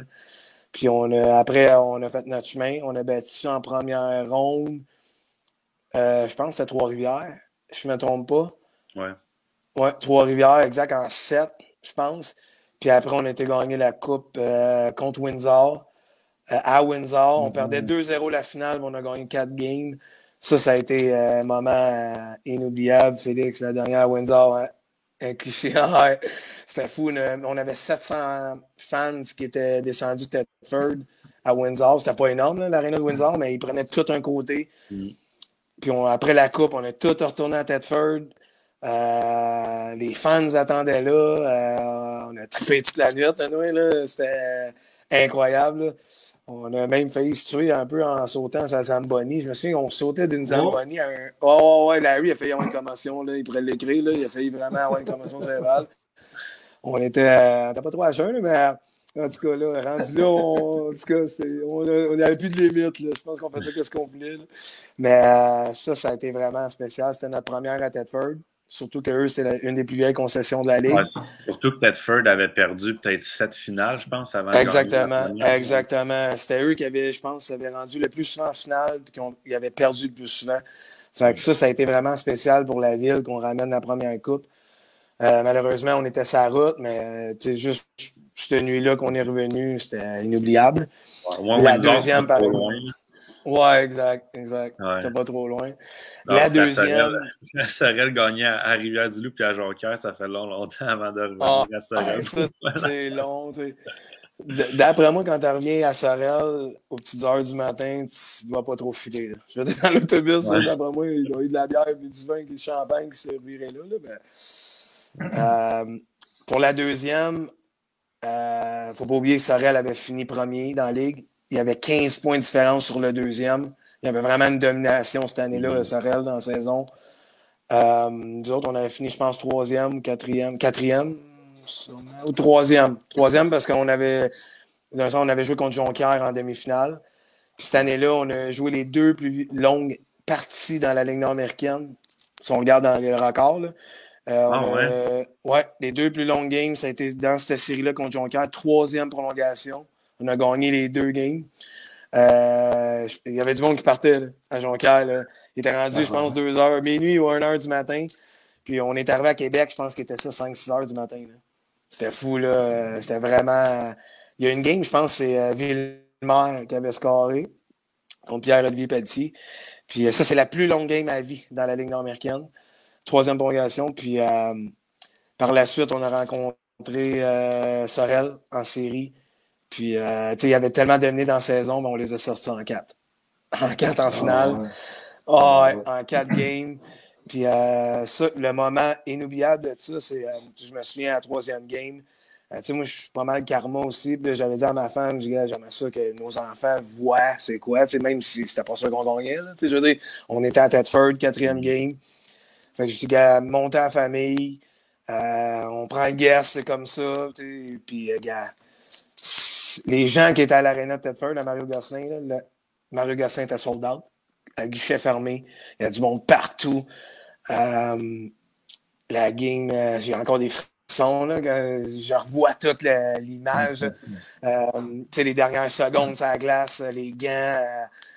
ça, c'était fou. Là. À Tedford, quand tu, on dirait, oui, c'est le fun de gagner un championnat, mais on dirait à la maison, c'est. Mm. Ah, il n'y a pas de mots pour le dire, c'est priceless. Tout le monde était sur la glace, les fans. Cette année-là, après Tedford, c'est pas dur. Ils ont changé leur couleur. La chambre fallait qu'elle repeinture. Il y avait du champagne, je pense, deux pouces, deux stocks. C'est ça quand j'ai changé du chandail. exact. D'après moi, ça a été la raison. OK, on repeinture tout, on change tout. On, devient l'assurantiel. Mais ouais, on avait, euh, je me souviens de la chambre, on marchait dans du champagne. Il y en avait, je pense, deux pouces. Je ne pas. C'était. Euh, c'était fou, là. C'était, ça aussi, c'était mémorable. C'est le meilleur souvenir que j'ai dans la ligue, c'est la deuxième coupe à Tedford. De loin. De loin, c'était vraiment spécial. Je pense que les gens aussi s'en souviennent encore. Là. C'était vraiment priceless. La bague aussi était pas mal, euh, pas mal belle, belle aussi. pas mal grosse. on parle de, de bague, de challenge de sauter d'une Zamboni à l'autre, là, mais euh, avec toutes ces, fêtes-là, là, euh, la bière, le champagne qui est coulé, là, tu dois bien avoir une petite histoire euh, euh, avec ça. Là, je sais pas, moi, quelqu'un qui est allé dans une fontaine ou quelque chose de même. Aïe, aïe, aïe, aïe, aïe, aïe, aïe, attendez, là. Euh, ben, je me souviens qu'à 7h30 du matin, euh, on a trouvé. Dans... allé comme dans un bar? Vous étiez resté à l'aréna? Non, non, non, on est resté dans un bar. Là, peut-être les policiers ne seront pas contents. Ben, nous, ils sont rentrés à 8h du matin, les policiers nous sortent. On est rentré au commanditaire de la Ligue, euh, de notre équipe. Euh, on était rendus, nous autres, je pense que je dansais Corbeil sur ce bar. On était tout le monde, tout le monde free for all. Nous autres, on buvait encore. Euh, la police est rentrée à à 8h30 du matin, puis euh, ils ont dit Ben là, euh, qu'est-ce que vous faites encore là? Ben là, nous autres, on était comme si c'était normal. Là. Ben, on finit de toucher, puis on. comme si c'était à 8h30 du soir. Pas entendu le... J'ai pas entendu le lascar encore. Ben là, jamais eu de lascar, monsieur l'agent. Là. Nous, on continuait, la manée. ils ont sorti avant d'avoir une amende, puis tout. Là, fait qu'on a, on a dit que c'est beau, là, on, on retourne à l'aréna. Euh, je pense qu'on a, on a détruit la coupe, je pense. Je pense que Kevin Veilleux avait lancé la coupe euh, ou Larry euh, sur le toit. il a fallu que Sterbourg rembourse une coupe. On l'avait vraiment, vraiment magané. Je pense qu'on faisait le lancer du plus haut. Là. Tu sais, comme les hommes forts, Strongman. Il y avait une corde en face de Mario, Mario Gosselin. Nous autres, on la passait par-dessus. Tu sais, quand tu es intoxiqué, je pense, des fois, tu penses plus. Mais puis je me souviens encore, je pense que le matin, dans training room, euh, il y avait notre trainer GM qui était couché en, en fœtus avec Bobby en arrière, les deux chauds un après l'autre, une table, une table de massage. Les deux rentraient dans la table, ils étaient brûlés, les deux, un en arrière de l'autre. On a plein de photos de ça. Ah, c'était le pauvre Jean-Marc. Jean-Marc était brûlé. Ah ouais, GM était brûlé. Bobby aussi, je pense qu'on les avait tous achevés. Puis, euh, on a quand même que Slager, lui, qui. je sais pas si je peux dire ça. cette année-là, ils, ont fait, ils ont fait le bureau à Bobby parce que Slag, il fait, fallait être là. C'est comme si il y avait une porte, la porte du bureau à Bobby était comme en avant de lui, puis il dit OK, je m'en vais aux toilettes, puis je pisse. Fait que là, tu le voyais, il pissait, là, on ne savait pas, mais là, il pissait dans le bureau. Là, tu voyais toute la pisse à terre, là, il pissait, il n'arrêtait pas de pisser.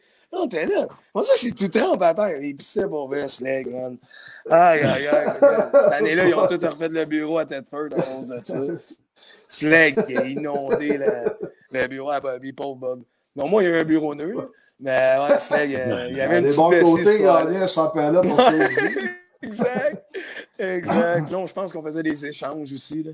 On avait le board des joueurs, là, on échangeait parce que cette année-là, il avoir une nouvelle équipe après. Ah, Cornwall. Cornwall rentrait après. Fait que là, nous autres, on faisait des plans qui qu'on échangeait, puis ah, on était rendu là. là. Ouais. la, première, la première coupe euh, que Cornwall rentrait après. Ah oui, t'as raison. C'était à Windsor, ouais. exact. Ah, ben c'est bon, c'est cette année-là bon, qu'on faisait les lignes, qu'on échangeait tout le monde. Parce que l'année 2015, il n'y avait pas d'autre équipe après qui est rentrée? Euh, 2016? Non? Non, non? Bon. Fait que ça devait être en 2012 d'abord qu'on faisait les échanges. Ouais, ben, des fois, les, les, les, souvenirs dans ces soirées-là, ça se met. Ouais, exact. Félix, exact. Euh, Félix Dallaire qui dit euh, Kev Veilleux est allé boire sur mon ancien perron aussi, je pense. Euh, il est arrivé ah, quelque chose à à son ah. perron. Ah, ah, ça se peut. Ça se peut. Il y en a, ils ont peut-être disparu. On a fait de la tournée de Thetford. ouais, ouais, ça, on a fait de la tournée. Euh, surtout la parade ici. La parade, c'est vraiment hot. Là. Euh, Villemer, en 2015, je l'ai pas trop vu, la parade, par exemple. Euh, Villemer, euh, le 26 ouais, a, Je pense que c'est Corbeil qui en a parlé quand il était cool. venu au podcast. Ouais, ouais. que, Villemer, pendant la parade, à parade, c'était... Très malade.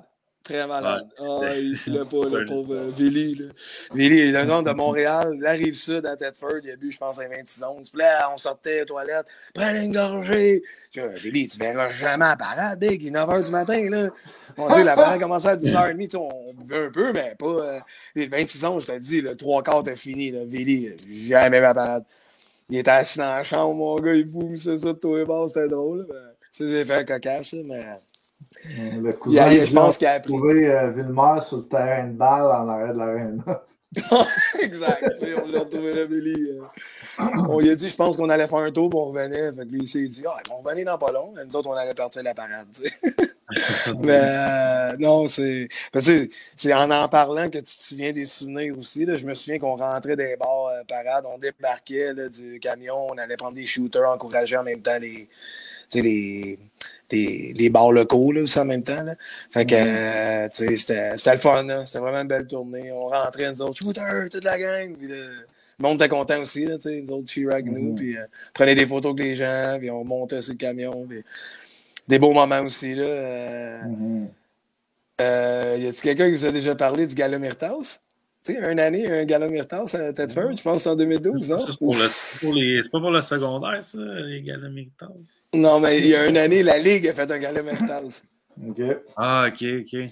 Il avait, ah, il, avait fait, il, avait fait, un All-Star Game un moment donné. Ça avait-tu rapport avec ça? Ouais. Ouais, exact. Ouais. Ça, nous, on avait gagné. Ouais, le centre ouais. l'équipe gagnante jouait contre l'équipe d'étoiles de la Ligue. Tu sais. ouais. C'était pas, euh, okay. pas vraiment juste, mais le Myrtaus aussi. Ça, euh, euh, Jack, euh, notre trainer, euh, s'en souvient très bien du Gala Meritas, surtout sa femme aussi. ça, ça le mieux pourrait vous dire, Jack, il était fini, notre trainer. Pas obligé d'en parler. pas obligé d'en parler. Il faut quand même rester euh, politiquement correct ici. Là. oh, c'était incroyable. Ben, moi, c'est sa femme qui nous voir là. Elle dit euh, Occupe-toi de Jack, là. moi je m'en vais parce que là, il n'y a plus d'allure. Fait que, est parti, on a pris soin de Jack, puis euh, on a eu une belle soirée. il n'a pas rien fait de déplacer. C'est juste que son verre de vin était un peu plus euh, pesant, tu sais. Le poignet. Euh... poignet était rendu là, mon beau Jack. Il était content, il était heureux, on avait gagné. il a le droit, Tout le monde a le droit. Mais il n'a jamais dépassé les limites. Il n'a jamais dépassé les limites. dit que sa mère est encore fâchée. C'était drôle, en tout cas. Je me suis encore dit, là, Jack, Jack, là, il m'énerve. Fait que moi, je m'en vais, là. Euh, fait que j'ai, on a pris soin de Jack, là. mais c'est des beaux petits moments cacasse. Beaucoup de vécu euh, qu'on a eu peut-être fait. Jack, c'est le père d'Olivier. Euh, ouais, exactement. Les deux trainers, c'est ça, le père d'Olivier. à Tedford, ben, c'est Jack Dusty et Jean-Marc Veilleux. Les deux préposés qui font un job phénoménal. Phénoménal à Tedford. Très bonne personne aussi. Je sais pas si tu avais, euh, parce que là, je regarde le, temps, le, temps file, tu as, de la jasette pas mal. on m'avait prévenu, on m'avait prévenu, par exemple. Ouais, hein? ouais, ben, c'est le fun, mais ouais, c'est sûr que si. Euh, ben, on a parlé beaucoup de, On a eu des bonnes anecdotes en, masse, là, nous qui, qui, qui, aimons toujours ça euh, en avoir. Mais si, si on va peut-être plus vers la conclusion, euh, on pourrait peut-être ramener ça euh, en fin de semaine. Dans le fond, match 3-4, euh, Pétrolier du Nord contre le Cool FM. à, quoi, à quoi tu t'attends comme match, là, vu le début de la série? Cool FM sont habitués de revenir de l'arrière cette année, je pense, dans des séries. Donc, ils, risquent, ils risquent de sortir fort en, fin de semaine.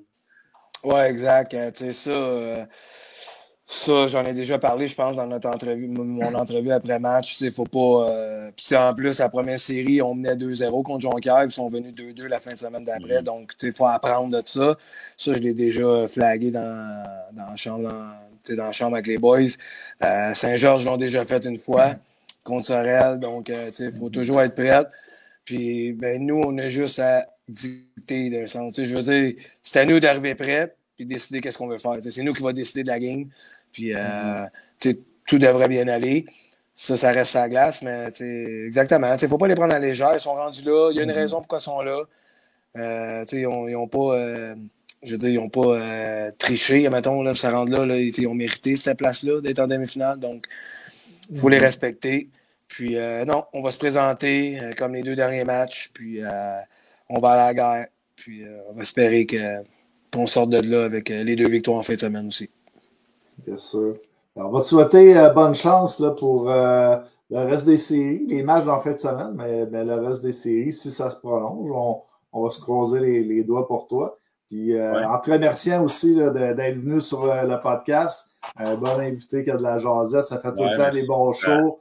ta, générosité avec les, ta générosité avec les, anecdotes. Ah, pas de trouble. Tout, tout en restant dans les limites, là, tu sais. ouais sinon, en terminant, peut-être, euh, je sais que, que tu en as parlé un peu en début d'entrevue, mais peut-être un, petit mot pour les, euh, pour les fans mm-hmm. de Laval. vendredi, un, autre gros match. la, foule va tout le temps montant à Laval, donc euh, mm-hmm. essayer d'augmenter ça encore vendredi. Oui, exactement. Que je dis aux fans, continuez de nous encourager. septième joueur, toujours important. Euh, continue à faire, vibrer l'arena, c'est incroyable. Euh, même j'ai des joueurs qui jouent dans les autres équipes qui disent ça, venez jouer à Laval, il faut que ça continue comme ça. Euh, j'aimerais ça qu'en fin de semaine, euh, vendredi, on tape au moins 3000, minimum le 3000 personnes dans l'aréna. Donc, en espérant que vous soyez en grand nombre, venez nous encourager. Bien sûr. Merci, euh, M. Medley. Puis, euh, ben, Merci, on, on, reste en contact, puis on te souhaite bonne chance pour le restant des séries. Merci. Take care, boys. Man. All right. Merci. Hein. Ciao, ciao, Bonne soirée. Ciao. Merci, vous aussi. All right. All right. Oh, nul. Ouais, euh, bonne entrevue. Ah ouais, c'était vraiment le fun. des, beaux, euh, des, des beaux souvenirs c'est le fun aussi quand les, les gens euh, dans le chat se souviennent des choses. Euh, euh, ça alimente aussi la conversation, ça fait rafraîchir la, mémoire. Ben oui, ça, fun. ça, lance, ça lance la conversation. On voulait parler peut-être, David, des matchs là, qui ont eu lieu mm. le dernier week-end. des matchs, Comment? Ouais, faire un petit résumé des matchs quand même. Ouais, faire, un, faire un petit résumé. moi, je, suis allé là, vendredi voir le, le premier match Cool FM contre les pétroliers à Laval. Je pense que euh, les deux équipes sont quand même sorties euh, fortes au début de la rencontre. Euh, ça a été un à un. Ça frappait. ça frappait beaucoup. Puis comme un peu Mathieu a dit, du côté de Laval, il n'y a peut-être pas un joueur qui a, ressorti. C'est vraiment un, un, gros travail d'équipe. Il y a eu des grosses mises en échec. À un moment, euh, Danick Paquette a envoyé un joueur aussi sur euh, le banc d'une équipe. Je sais que tu avais mis une vidéo au courant de la semaine. Euh, le travail là, de la défensive qui ont, je trouve que ont limité vraiment les chances du Cool FM. ont été très disciplinés. Je pense qu'il y a seulement eu un, deux minutes du côté de Laval. Puis quand on sait aussi que le Cool FM là, a une puissance là, euh, sur l'attaque massive. On n'a mm. pas pu euh, utiliser peut-être là, ça dans quoi euh, ils sont bons, qui aide à leur faire gagner des parties. Je pense qu'on n'était pas loin de, la partie parfaite. Ça s'est fini 7 à 2. je pense que peut-être le, le, pointage ne reflète pas le score parce que c'était quand même une partie serrée. Euh, Laval ont travaillé beaucoup pour se rendre euh, à ce pointage-là. Mais euh, mm. c'était vraiment une, bonne partie pour avoir été là. L'ambiance en plus, il y a eu la vague 3-4 tours de l'aréna. C'était vraiment. Ouais, puis ben, tu sais, je pense que c'est ça, ça a commencé serré, mais on dirait que Laval a pogné son air d'aller. Je ne sais pas si c'était la foule qui les alimentait, probablement que ça avait un, ça a eu un impact. On dirait que plus la game avançait, plus que Laval jouait en confiance. on a parlé beaucoup du, euh, euh, du trio, là, euh, ben, plus du haut de, de, Poulain et. et de Poulain, Amelin, qui ont joué avec Daou aussi. Que... Ouais, puis sinon, il y a un autre trio aussi. Ben, C'était peut-être plus la game de samedi, là, mais le trio que je pense que Pierre Pelletier a eu la main heureuse en réunissant Desrosiers avec Paquette et Riendo. Ça aussi, ça a été un, un, très bon trio en fin de semaine. Mais euh, moi, je pense que Laval aussi, quelque chose qui est peut-être euh, qu'on parle peut-être pas assez, là, mais l'apport va dire Bastien hein? avec Massenauer aussi, la joue Oui, Bouchard, ben, c'est ça, euh, mais c'est le retour de Bastien qui bump down, si on veut, rien d'eau, mais ça fait ça leur fait trois, trois grosses lignes d'attaque, veux, veux pas. Là, quand ta troisième mm-hmm. ligne, c'est théoriquement, parce qu'on s'entend, c'est pas nécessairement une troisième ligne, mais quand ta troisième ligne, c'est rendu des, rien d'eau, des rosiers, paquettes, c'est parce que parce que c'était loadé. c'est sûr que ça, ça l'aide beaucoup le retour de Bastien. Avoir encore plus d'attaques, euh, mais euh, je pense que l'autre chose aussi qu'il faut mentionner, c'est l'apport offensif des défenseurs. Euh, on est rendu, ils sont rendus avec Philippe Bureau-Blesse, 5 buts, Yann mm-hmm. Sauvé, 4 buts, Talbot Tassi, 3 buts. Euh, puis, tu sais, là-dedans, on parle même pas de Mathieu Medley qui vient de revenir, que lui aussi est capable d'en marquer des buts. Fait, mm-hmm. Ça aussi, je pense que c'est quelque chose que Laval ont, que pas d'autres équipes présentement dans la Ligue ont. C'est les défenseurs qui sont capables de, de marquer des buts puis s'inscrire sa feuille de pointage. Mm-hmm. euh, je pense que si on fait le tour des clubs qui restent, là, euh, chaque équipe en a peut-être un ou deux, mais Laval, il y en a quatre. Euh, fait que ça aussi, ça fait, ça fait une petite différence. Mm-hmm. Donc, ouais, Laval, Laval sont, sont très bien partis. Très, très, très grosse la chaîne de hockey, c'est sûr, quand tout le monde est là. Je pense que ça mhm. arriver vendredi. Il faut quand même mentionner aussi du côté du Cool FM, il y avait trois absents de, de marque. Pierre-Luc Veillette euh, n'était pas en, uniforme. Bruno Carl Denis et, euh, et Jonathan Ferland.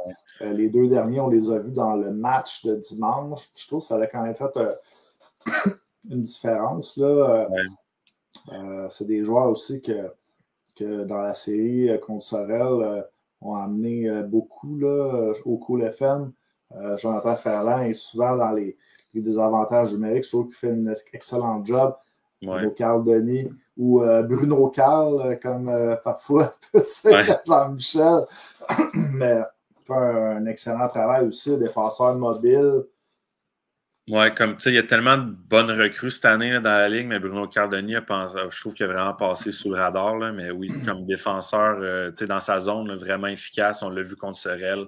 Euh, Veillette aussi, j'ai l'impression Veillette qui, prenait de plus, en plus confiance dans la série contre Sorel. Fait que c'est sûr que c'était des, gros, des gros mm-hmm. euh, morceaux qui manquaient.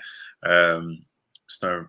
Tu sais, en même temps, c'est un peu ça les séries. Hein. Des fois, tu, c'est l'équipe qui va avoir eu le moins le, son alignement le plus complet aussi, souvent que qui vont aller les plus, loin. c'est sûr que quand il manque des trois gros morceaux comme ça dans un match aussi important, c'est sûr que ça, que, ça va paraître, veut, veut pas. Euh, mais tu sais, Saint-Georges, Medley l'a dit, Laval, Laval sont prêts parce que tu sais, c'est sûr que en remontant une série 3-0, euh, ce que Saint-Georges a fait, c'est sûr que tu sais, le, c'est le gros, gros, gros drapeau rouge euh, flashant de Hey, attention, on mène, mais euh, ça veut rien dire. Fait que c'est sûr que je pense que c'est peut-être quasiment un désavantage pour Saint-Georges d'avoir monté déjà 0-3 parce que c'est sûr que là, Laval vont être. Euh, tu sais, quand tu rentres une série puis tu mènes 2-0, tu es, en confiance, mais des fois, tu dis, ah, tu peux peut-être avoir trop confiance, puis devenir un peu arrogant, ce que je pense même a peut-être été un, des défauts de Sorel dans la première série. Mais là, avec Saint-Georges, ils sont déjà remontés 1-0-3. Je me vois mal Laval avoir cette attitude-là parce qu'ils savent, ils savent en maudit que Saint-Georges sont capables. Donc, je pense que Saint-Georges va devoir redoubler d'ardeur pour euh, réussir à, aller remonter ça. Mais ils l'ont fait quand même, ils l'ont fait quand même contre Sorel. Fait pourquoi qu'ils ne feraient pas contre Laval? Mais c'est sûr que ça va être intéressant. Euh, Dans la partie de dimanche, là, c'était quand même euh, très serré. Euh, si on regarde même au niveau des deux, des deux matchs, là, au niveau des tirs, c'est quand même égal. C'est un petit peu plus fermé le dimanche, si on pourrait dire. Euh, il y a quand même, euh, à un moment, là, Maxime Guyon qui pensait avoir marqué. Euh, on est allé à la reprise. ouais, ça, change la game. Parce que c'est arrivé à 1-0 pour Saint-Georges. Si Saint-Georges tombe 2-0 en, en, première période, c'est plus, le même, plus le même match du tout, on s'entend. Mm-hmm oui, c'est sûr, ça a, eu, ça a eu un impact. C'est dur que nous, on, on, on, en a parlé un peu avant le show, là, mais c'est sûr que nous, on a juste l'angle de TVLNH pour, pour voir, parce que c'était un peu une séquence controversée. Euh, mais ouais, on ne voyait pas vraiment sur le, le, feed de TV LNH, mais mm-hmm. c'est sûr, sûr, que ça aurait changé quelque chose, mais en même temps, une fois que c'est arrivé, c'est arrivé dans un match. Si tu es l'équipe à, laquelle ça arrive, tu ne peux pas rester accroché à ça, il faut que tu passes à, d'autres choses quand ça arrive. Mais c'est sûr que ça aurait, ça aurait changé le match. Euh, ça aurait changé le match sans, sans aucun doute parce que ça, Laval ont eu. Euh, Laval, quand ils ont eu des chances samedi, ils ont su en profiter. Puis Saint-Georges, quand ils en ont eu, malheureusement, ils n'ont pas réussi à mettre dedans. Fait que c'est probablement ça qui a fait la différence. Tu parlais de Yannick Riendo aussi. Euh, il a fait deux buts dans, ce match-là. Justement, c'était le, le, but euh, qui a créé l'égalité, je crois. Après, euh, le, but qui n'a pas, été, pas été bon de Maxime Guillon. Michael Réon avait marqué là, même le premier but. Ouais, un but, un but euh, pour ceux qui l'ont vu, c'est un but. Euh, s'il y, en a qui. Si, je dis Marc-André Fleury puis Jonathan Thèse au championnat du monde junior, c'est pas, mal, euh, pas mal un copier-coller de ça. Francis Leclerc avait la rondelle, puis il voulait en désavantage numérique, puis il voulait, il voulait la dégager tout de suite, puis Réon passait devant lui, puis il l'a lancé sur Réon, puis la rondelle est rentrée dans le filet. donc, un, un, mauvais bon pour Laval. Euh, donc, ça a été ça le premier but. C'est quand même un, but assez cocasse.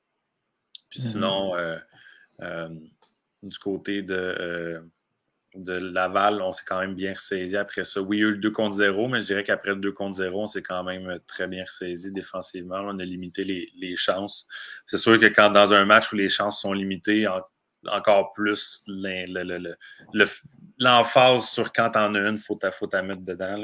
En série, c'est souvent ça qui se passe aussi. C'est souvent des matchs mm. plus, euh, moins ouverts qu'en saison régulière, ça c'est sûr et certain. Mm-hmm. Si on regarde euh, l'autre série là, entre les éperviers et, l'assurancia, deux victoires de l'assurancia, 5 à 1, 4 à 1. Ouais. Tu pourrais nous dire peut-être de, de, la première partie? Euh, ben, la première partie, ça, ça a quand même bien débuté, je dirais, du côté de Sorel. On jouait, Sorel jouait super bien en, première période. Euh, tu sais, l'assurancia, puis Bobby Barrian, ben, a parlé dans, son entrevue d'après-match. Ça faisait deux semaines qu'il n'avait pas joué, donc il y avait peut-être un peu de rouille. Euh, donc, malheureusement, pour les éperviers, s'il y avait un joueur qui n'était pas rouillé, c'était Étienne Marcoux. donc, mm. euh, Étienne Marcoux, on, le sait, là, il fidèle, fidèle à lui-même. Donc, ça a été quand même serré. Euh, en, en, deuxième période, je pense qu'il y a un point tournant. Euh, c'est 1 à 1. Il y a une pénalité qui est appelée pour l'assurancia. Euh, suite à la pénalité, il y a un scrum. C'est Pierre-Luc Lessard qui est chassé. Suite à la pénalité, il y a un scrum. Puis, euh, Danny Potvin en a mis peut-être un peu trop dans le, dans le scrum au lieu d'être réservé. Puis, il s'est fait, fait avoir. Donc, euh, au lieu que mm-hmm. le Sorel Tracé bénéficie d'un avantage numérique, ça a été un 4 contre 4, ce qu'il n'aurait pas dû avoir parce qu'il y avait seulement une pénalité vraiment claire et nette dans le jeu. après ça, dans le scrum, euh, ça s'est égalé parce que justement, tu sais, on voit souvent ça en plus quand l'arbitre a le bras levé, il y a un gars de l'équipe qui se fait pénaliser, il va aller voir un gars de l'autre équipe pour le, le, le, brasser ou quelque chose, puis essayer mm-hmm. d'en sortir deux. Mais c'est exactement ça qui est arrivé, puis Tedford a réussi. Donc, euh, tu sais, je pense que quand on parlait de l'indiscipline de Sorel contre Saint-Georges, ben ça, c'en est un exemple qui a fait mal. Parce que tout de suite, à la reprise du jeu à 4 contre 4, ben, il se passe de quoi? André Boismorissette se fait pogner pour accrochage. Puis là, boum, Tedford tombe avec un 4 contre 3 pendant 1 minute 45. Puis tu as un avantage moyen de 4 contre 3. Mm-hmm. On s'entend que. Plus de place euh, sur plus la de place à patinoire qu'un 5 contre 4. Puis après ça, Tedford, après ça, c'est tout à l'avantage de Tedford. Là. Pour ceux qui ont vu le but, qui ont marqué à 4 contre 3, là, les quatre joueurs sur la glace ont touché à rondelle. Ça, c'est vraiment. Euh, ça, a fait, euh, ça a fait en haut à, gauche, en haut à droite, cross-side, de l'autre bord du net. Puis c'était un jeu parfait. C'était vraiment un super but. Mais là, ça tombe 2-1, alors que tu prends une minute avant, les éperviers tombent en avantage numérique. Puis finalement, c'est pas ça qui est arrivé ça, je pense que c'est un des points tournants du match. Puis l'autre point tournant du match, c'était quand même 2 à 1 jusqu'en milieu de troisième période. Euh, en désavantage numérique, Antoine Waked part en échappé. Puis hmm. vraiment, c'était vraiment impressionnant quand il est parti en échappé parce qu'il a vraiment euh, passé de vitesse, là, Dylan Labbé. C'était vraiment beau à voir. Puis il fait une super feinte. Étienne Marcoux fait, fait la split pratiquement euh, à terre, puis il a réussi à faire l'arrêt pour vrai, c'est rare qu'on voit un arrêt qui fait que les fans dans l'aréna se lèvent debout. habituellement, c'est plus, plus un but, mais les fans se sont levés littéralement dans l'aréna. C'était vraiment un arrêt spectaculaire. Euh, puis même dans le, euh, dans le communiqué de Tedford, je disais que Marco, en entrevue, il a dit que quand il a fait ça arrêt-là, il ça n'a même pas pogné sa patte. Il dit la PAC a pogné son patin. Tellement que c'était vraiment ah C'était vraiment un super arrêt je pense que ça a donné un peu des, ailes à, Tedford parce qu'après le momentum qui ont eu cet arrêt-là, une minute après, il marquait le troisième but, puis ça tombait 3-1. Je pense qu'à 3-1, euh, euh, Tedford on, take over. Excusez-moi l'anglicisme. Ils ont pris le contrôle. Ils ont pris le contrôle du match à 3-1, puis ils n'ont pas vraiment regardé en arrière après. Donc, ça, c'est un peu l'histoire du, euh, du match numéro 1. Fait que, Sorel ont quand même bien joué. Ils ont tenu jusqu'à pendant 50 minutes mais tu peux pas. Euh, tu sais, faut que tu joues. Faut que tu joues du hockey parfait si tu veux battre Tedford. Euh, tu n'as pas le choix. Là. Depuis le début de l'année, tu sais, je, vois tous les matchs, puis faut que tu ne mm-hmm. pas parfait pratiquement pour battre Tedford. Euh, puis tu sais, il y a l'excuse aussi de Sorel que ah, il, manque, il manque encore Gabriel, Paquin Boudreau. Ouais. Tout, mais en même temps, ça marche c'est une excuse qu'on a vu souvent là, dans les séries, parce que oui, ça aurait été clopé, mais Tedford n'avait pas Alexandre Goulet en fin de semaine passée. Fait Tedford manquait leur, leur premier joueur. C'est d'autant plus dommage pour Sorel parce que d'avoir la chance de jouer deux matchs en série contre Tedford sans Alexandre Goulet puis de pas réussir à en gagner un des deux. Ça aussi, mm-hmm. c'est une occasion, une occasion ratée. Euh, parce que. Mm-hmm. Ouais. Martin Snow, le tir pénalité aussi de Lausanne ouais. c'était Tedford, ouais. C'est sûr, mais tu sais, il n'y a pas de. Il n'y a pas d'argumentation à avoir là. c'était le bon call quand même. Lausier s'est fait accrocher en, en échappé, donc c'est un tir pénalité, mais good, good job de Lausier de l'avoir mis dedans. Euh, euh, je sais pas, il s'en venait, venait lentement dans son tir, puis je sais pas, il avait pas trop l'air sûr de la fin qu'il voulait faire. J'étais quand même confiant, mais il l'a sorti du revers, puis Graham ne s'attendait pas à ça. ouais, c'est sûr que ça met le ton au match. Ça avait une minute et demie de jouer quand il y a eu le pénalité. Pas bien. Ça part bien.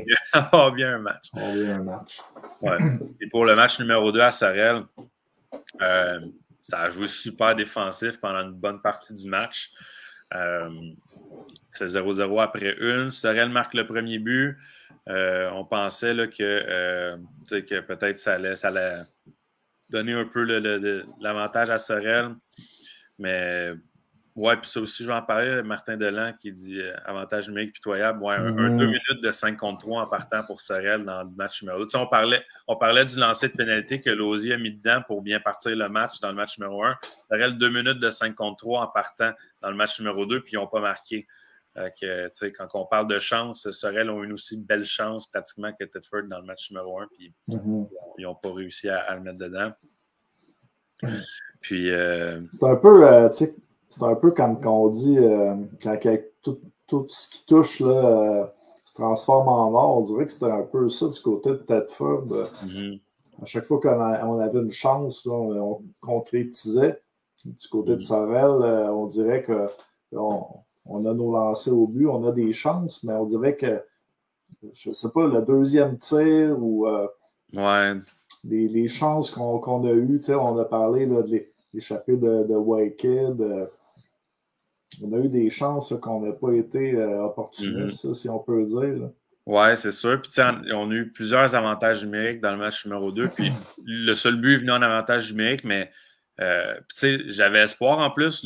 L'avantage numérique était à peu près 0 en 25, je pense, quand ils ont marqué samedi.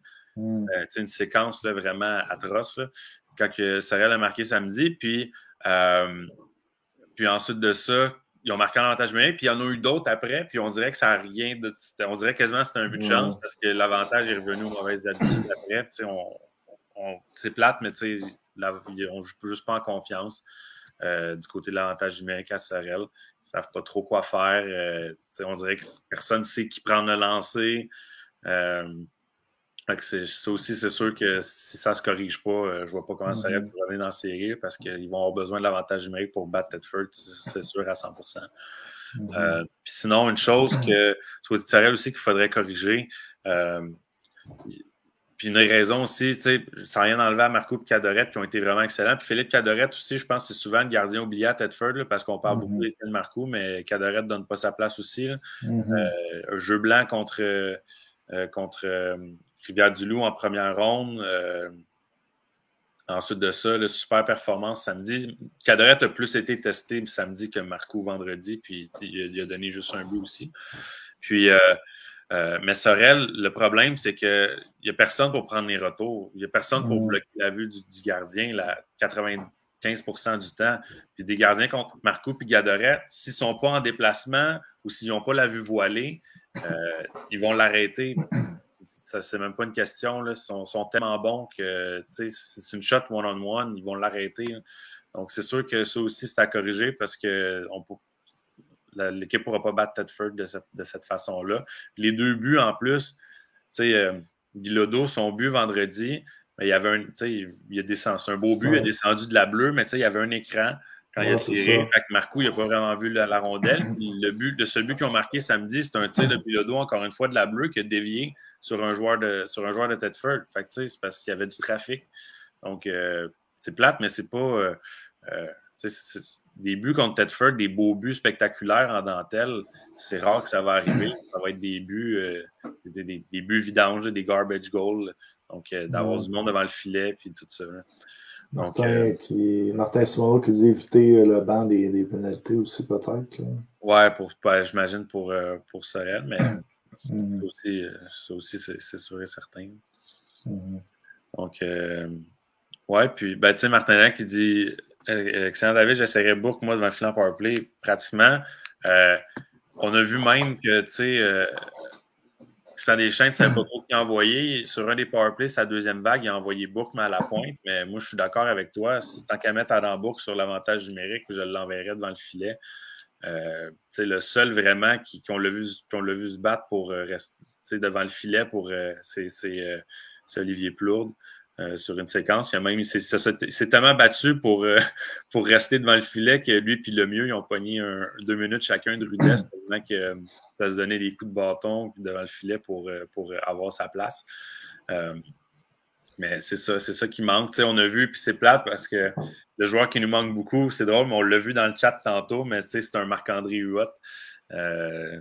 pour prendre les retours, dévier les rondelles dans les séries 2019 contre euh, Jonquière, je pense qu'il y a peut-être 10 buts dans les séries 2019 Marc-André Huot. Puis s'il n'y en a pas 10 qui a marqué euh, à dévier des rondelles ou prendre des retours dans le filet, ça doit être 9. C'était vraiment, vraiment ça, c'était sa spécialité. on dirait qu'on ne l'a pas vraiment remplacé à sa Tracy, euh, malheureusement. C'est un peu ça que j'ai remarqué. Tu parlais de la façon aussi que les buts de Bilodeau se sont marqués. Euh, au-delà que c'est des, euh, euh, des, des, déviations, des écrans, des écrans, excuse, devant le filet. des fois, c'est pas toujours les plus beaux buts là, en, série éliminatoire.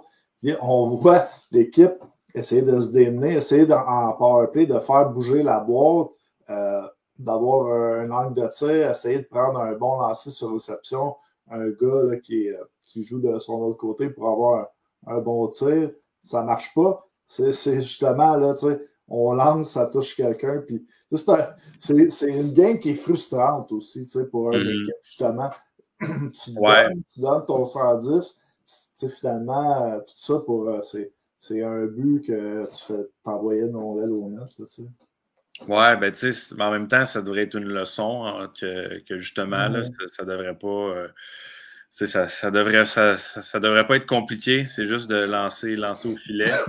Puis, tu sais, Sorel ont, eu un avantage numérique qui a marqué beaucoup avec la dentelle cette année. Puis, ils ont fait beaucoup de buts, des one-timers d'Olivier Heinz, des tirs sur mm. réception de, de Bilodeau, de Paquin Boudreau. C'était des buts mm. spectaculaires, c'était vraiment des beaux buts. Mm-hmm. Mais malheureusement, euh, je pense que Gabriel, quand Gabriel Paquin-Boudreau n'est pas là sur cet avantage numérique-là pour compléter les autres, je ne pense pas que c'est une stratégie qui fonctionne. Je ne dis pas s'il était là, parce qu'il a prouvé que quand lui est là, cette stratégie-là peut fonctionner, mais à chaque fois qu'il n'a pas été là, à chaque fois qu'il a manqué des matchs qu'il n'a pas été là, ça ne fonctionne pas d'y aller comme ça.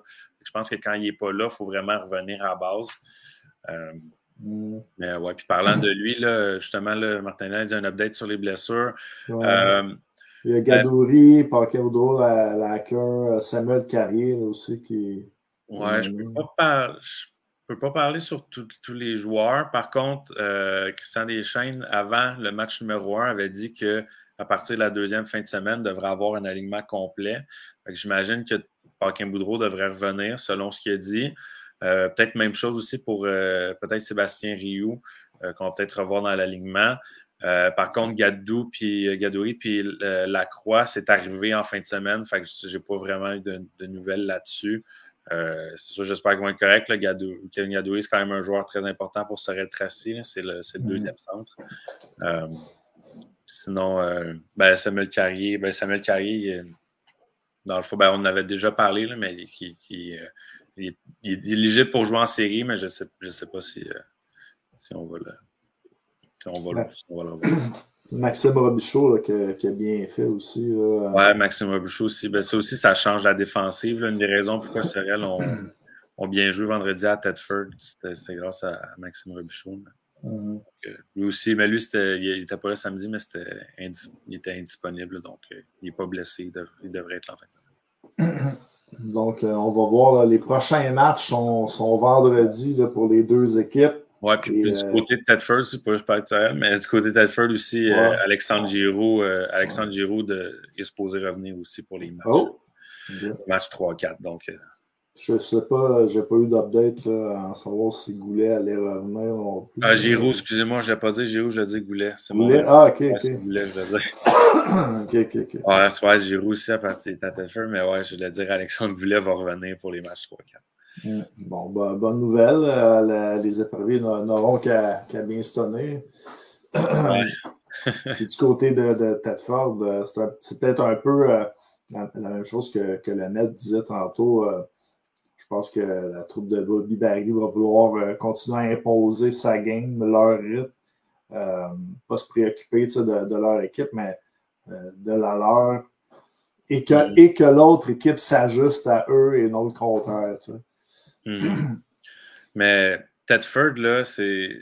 On dirait quand ils prennent les devants, on dirait que le club est, on dirait que c'est un club qui est bâti pour mener 2-0. Parce que quand, quand, ils ont les devants, là, ils ont pas, on parlait de Laval avec leur super défensive euh, euh, mm. explosive euh, offensivement, mais Tedford, ils ont une défensive quasiment explosive défensivement. Ils ont tellement des mm. bons joueurs responsables dans leur zone que c'est vraiment dur de s'installer. Ils vont toujours être là pour prendre les retours. Mm-hmm. Euh, Pierre, Pierre Lessard aussi, je pense que c'est un joueur des plus sous-estimés de la Ligue. Il, est tellement, bon, il n'est jamais dans le trouble. Euh, puis là, la paire qu'il fait, qui, forme en plus avec Guillaume Lépine, euh, mm. c'est assez impénétrable. Guillaume Lépine ne donne, pas sa place non plus. Puis il est physique en plus. Puis pour sa shape aussi, Guillaume Lépine, il, bouge quand même très bien. Quand tu regardes un gars de sa stature, là, tu, Mm déceptif. En anglais, c'est déceptif, mais comme il. Euh, euh, on n'aurait pas l'impression qu'il bouge aussi bien. Mm-hmm. Euh, après ça, oui, dans le commentaire, le vétéran de fou à défensif, tu as mis La Fontaine, super, mm-hmm. super vétéran défensif. Il, il, avance en âge, mais lui, lui, aussi, il bouge encore super bien, très mobile. Euh, Étienne Boutet, qui est plus jeune, lui aussi, super bon défensivement. Gabriel Lemieux, euh, c'est un, vétéran dans la ligue, mm-hmm. mais il a quand même juste 32-33 ans, quand il est Donc, euh, donc euh, c'est ça. Diane Labbé aussi, qui est un très bon jeune défenseur dans la ligue. Ce n'est pas des défenseurs qui vont avoir des super stats offensives, mais défensivement, c'est tous des super défenseurs qui pourraient jouer pratiquement sur une première paire défensive dans n'importe quel club. Mais eux, ils ont une défensive remplie de ça. Fait que c'est. Mm-hmm. C'est vraiment, c'est, vraiment dur, sont vraiment durs à, à, mm-hmm. jouer, contre. Puis c'est ça, c'est, d'autant plus dur de prendre des retours puis mettre du trafic devant, devant euh, euh, les gardiens à cause de cette super défensive-là. Mais euh, c'est le défi de n'importe quelle équipe qui vont jouer contre eux en série, mm-hmm. une façon de faire ça. Parce que s'ils ne trouvent pas une façon de faire ça, je ne vois pas comment ils pourraient. Nick Carré qui, parle aussi de Yann Joseph en parlant des, vétérans. Euh, puis j'aimerais rajouter aussi, quand même mentionner là, que le Sorellois Francis Bouvier a marqué dans le premier et dans le deuxième a été la première étoile du match du côté de, de Telford. Euh, c'est fou, c'est fou de. C'est fou de voir la saison que Tedford a eu, considérant que Beauvillier a manqué euh, toute la partie pré-COVID, pré-post-COVID. Mhm. la série de, de, victoires de Tedford puis Beauvillier, en faisait même pas partie. C'est quand même impressionnant parce que Beauvillier est vraiment. Il a une bonne shape, il s'implique physiquement, il est intense, c'est tout le temps le, nez dans le trafic, puis il, a une super bonne shot aussi, il est dangereux. Fait pour vrai. Rendu à 6 buts, euh, de, 6 buts 2 passes euh, du côté de, de Beauvillier. Ouais, il connaît, des, super bonnes séries. Mhm. Mm. Je ne sais pas si c'est parce que c'est un Sorellois ou parce que euh, il se parle, il parle beaucoup sur la glace, mais on dirait que tous les joueurs de Sorel quasiment sont, sont après lui. Ça, ça, met, ça met du piquant hein, quand, je, reviens de, de l'autre équipe. Good. Donc, ça, les, les prochains matchs là, sont vendredi euh, et samedi là, pour les deux séries. Ouais, donc euh, ça revient. Là, je sais qu'il y avait un dimanche à Saint-Georges, mais ouais, ça va être deux en deux pour les, les deux séries. Ça risque d'être du bon hockey. J'espère, j'espère pour. Euh, je dis pas ça en tant que Sorel, je dis ça plus en tant que, que, fan de la Ligue, mais j'espère que les deux séries ne se finiront pas en fin de semaine, qu'on va avoir du hockey en, en, fin de semaine prochaine aussi. Puis que Saint-Georges et Sorel vont pouvoir euh, au, moins, au moins en gagner une, une des deux pour prolonger les séries, là, pour pour avoir plus, plus de fun plus longtemps euh, mm. dans, dans, les séries de la, de Ligue américaine. on a eu deux, deux séries en sept en, quart de finale. Donc, ça serait, serait le fun d'avoir d'autres longues séries parce que ça, ça, rend le tout plus le fun pour, euh, pour les fans de toutes les équipes. Puis euh, les, les, joueurs ont plus de paye aussi quand les, les séries. mais, mais on va voir là, comment les deux équipes vont gérer la fatigue aussi, quand même, deux matchs en deux jours. Là. Mm-hmm. Ça va, Mathieu Mella en parlait quand même, là, que peut-être rendu au dimanche, allait être un petit peu raqué, deux, deux, matchs en deux jours, mais quand même, on va voir comment les deux équipes, si on regarde un peu on n'arrête pas de parler de que l'assurancier a peut-être une équipe un petit peu plus âgée. Euh, et, non, ça ne veut pas dire qu'ils sont plus âgés, qu'ils sont moins en forme, mais peut-être qu'il y a des, équipes qui vont, que ça va les désavantager de, jouer euh, deux matchs en deux jours. Oui, c'est sûr que ça va être un aspect, un aspect à, suivre. Euh, quand même, dans toutes les équipes, par contre, toutes les, toutes les équipes depuis le début de la série qui restent en, liste ont toutes fait jouer leurs deux gardiens. Donc, euh, donc, ça aussi, au moins, c'est quand. C'est pas une, mm-hmm. Je ne sais pas si toutes les équipes vont employer cette stratégie-là, mais au moins euh, euh, d'avoir. toutes les équipes ont des gardiens qui savent qu'ils peuvent, qu'ils peuvent gauler une game sur deux. Donc, ça, ça va peut-être aider. si une équipe jamais qui emploie le, 2 en 2, mais ça va rester à voir si ça va les avantager ou pas. Ça aussi, mm-hmm. C'est quand même quelque chose de bien pour les équipes qui ont joué beaucoup de matchs euh, de suite, d'avoir euh, tous des, bons duos de gardiens. Si on va voir, ben justement, les gardiens, si, on va voir s'ils vont se, partager le travail entre les deux journées. Mm. Oui, effectivement. Yes. Donc, euh, sur ce, on vous remercie d'avoir été des nôtres ce soir. Encore une, très bonne émission avec un, invité en or qui nous a sorti euh, ma foi, quelques, quelques anecdotes très, très croustillantes. Euh, on a encore du bon, du bon hockey de série la, semaine prochaine. Euh, on en a parlé en début de, reportage que le 10 mai, il va y avoir le grand dévoilement pour l'équipe. mais si on vient aux séries, là, on a vu euh, Mathieu Medley tantôt qui nous a parlé. On veut atteindre le 3000 personnes à Laval. Je pense qu'il y avait 2253. Euh, je sais que euh, dans les autres, dans, les autres arénas aussi de la Ligue, on était près du 2000, dépassé. Donc, les gens sont encore au rendez-vous, veulent du hockey, du bon hockey de série. Et pour vrai, ça paraît que c'est euh, euh, un level up, dire un étage plus haut. Là. Euh, mm-hmm. pour vrai, c'est des parties qui sont très enlevantes. Là. Mm-hmm. Oui, comme je l'ai dit, j'espère juste que les, séries finiront en fin de semaine, juste pour que ça soit, soit plus le fun, qu'on ait plus de matchs, plus de foule, plus de tout. Donc, ça, va, ça va être un autre week-end intéressant. Mm-hmm. Yes. Donc, euh, ben, merci à tout le monde d'avoir été. Euh, euh, Martin Simoneau qui dit 1750 du côté de Tedford. Donc, des mm-hmm. grosses foules. Puis même, je pense, à la Croix du Til, dimanche après-midi, il y avait quand même du 1550, j'avais vu tantôt. Donc, merci à tout le monde d'avoir été des nôtres et merci Dave. Et euh, en vous disant, faites attention à vous au retour à la maison. Au revoir.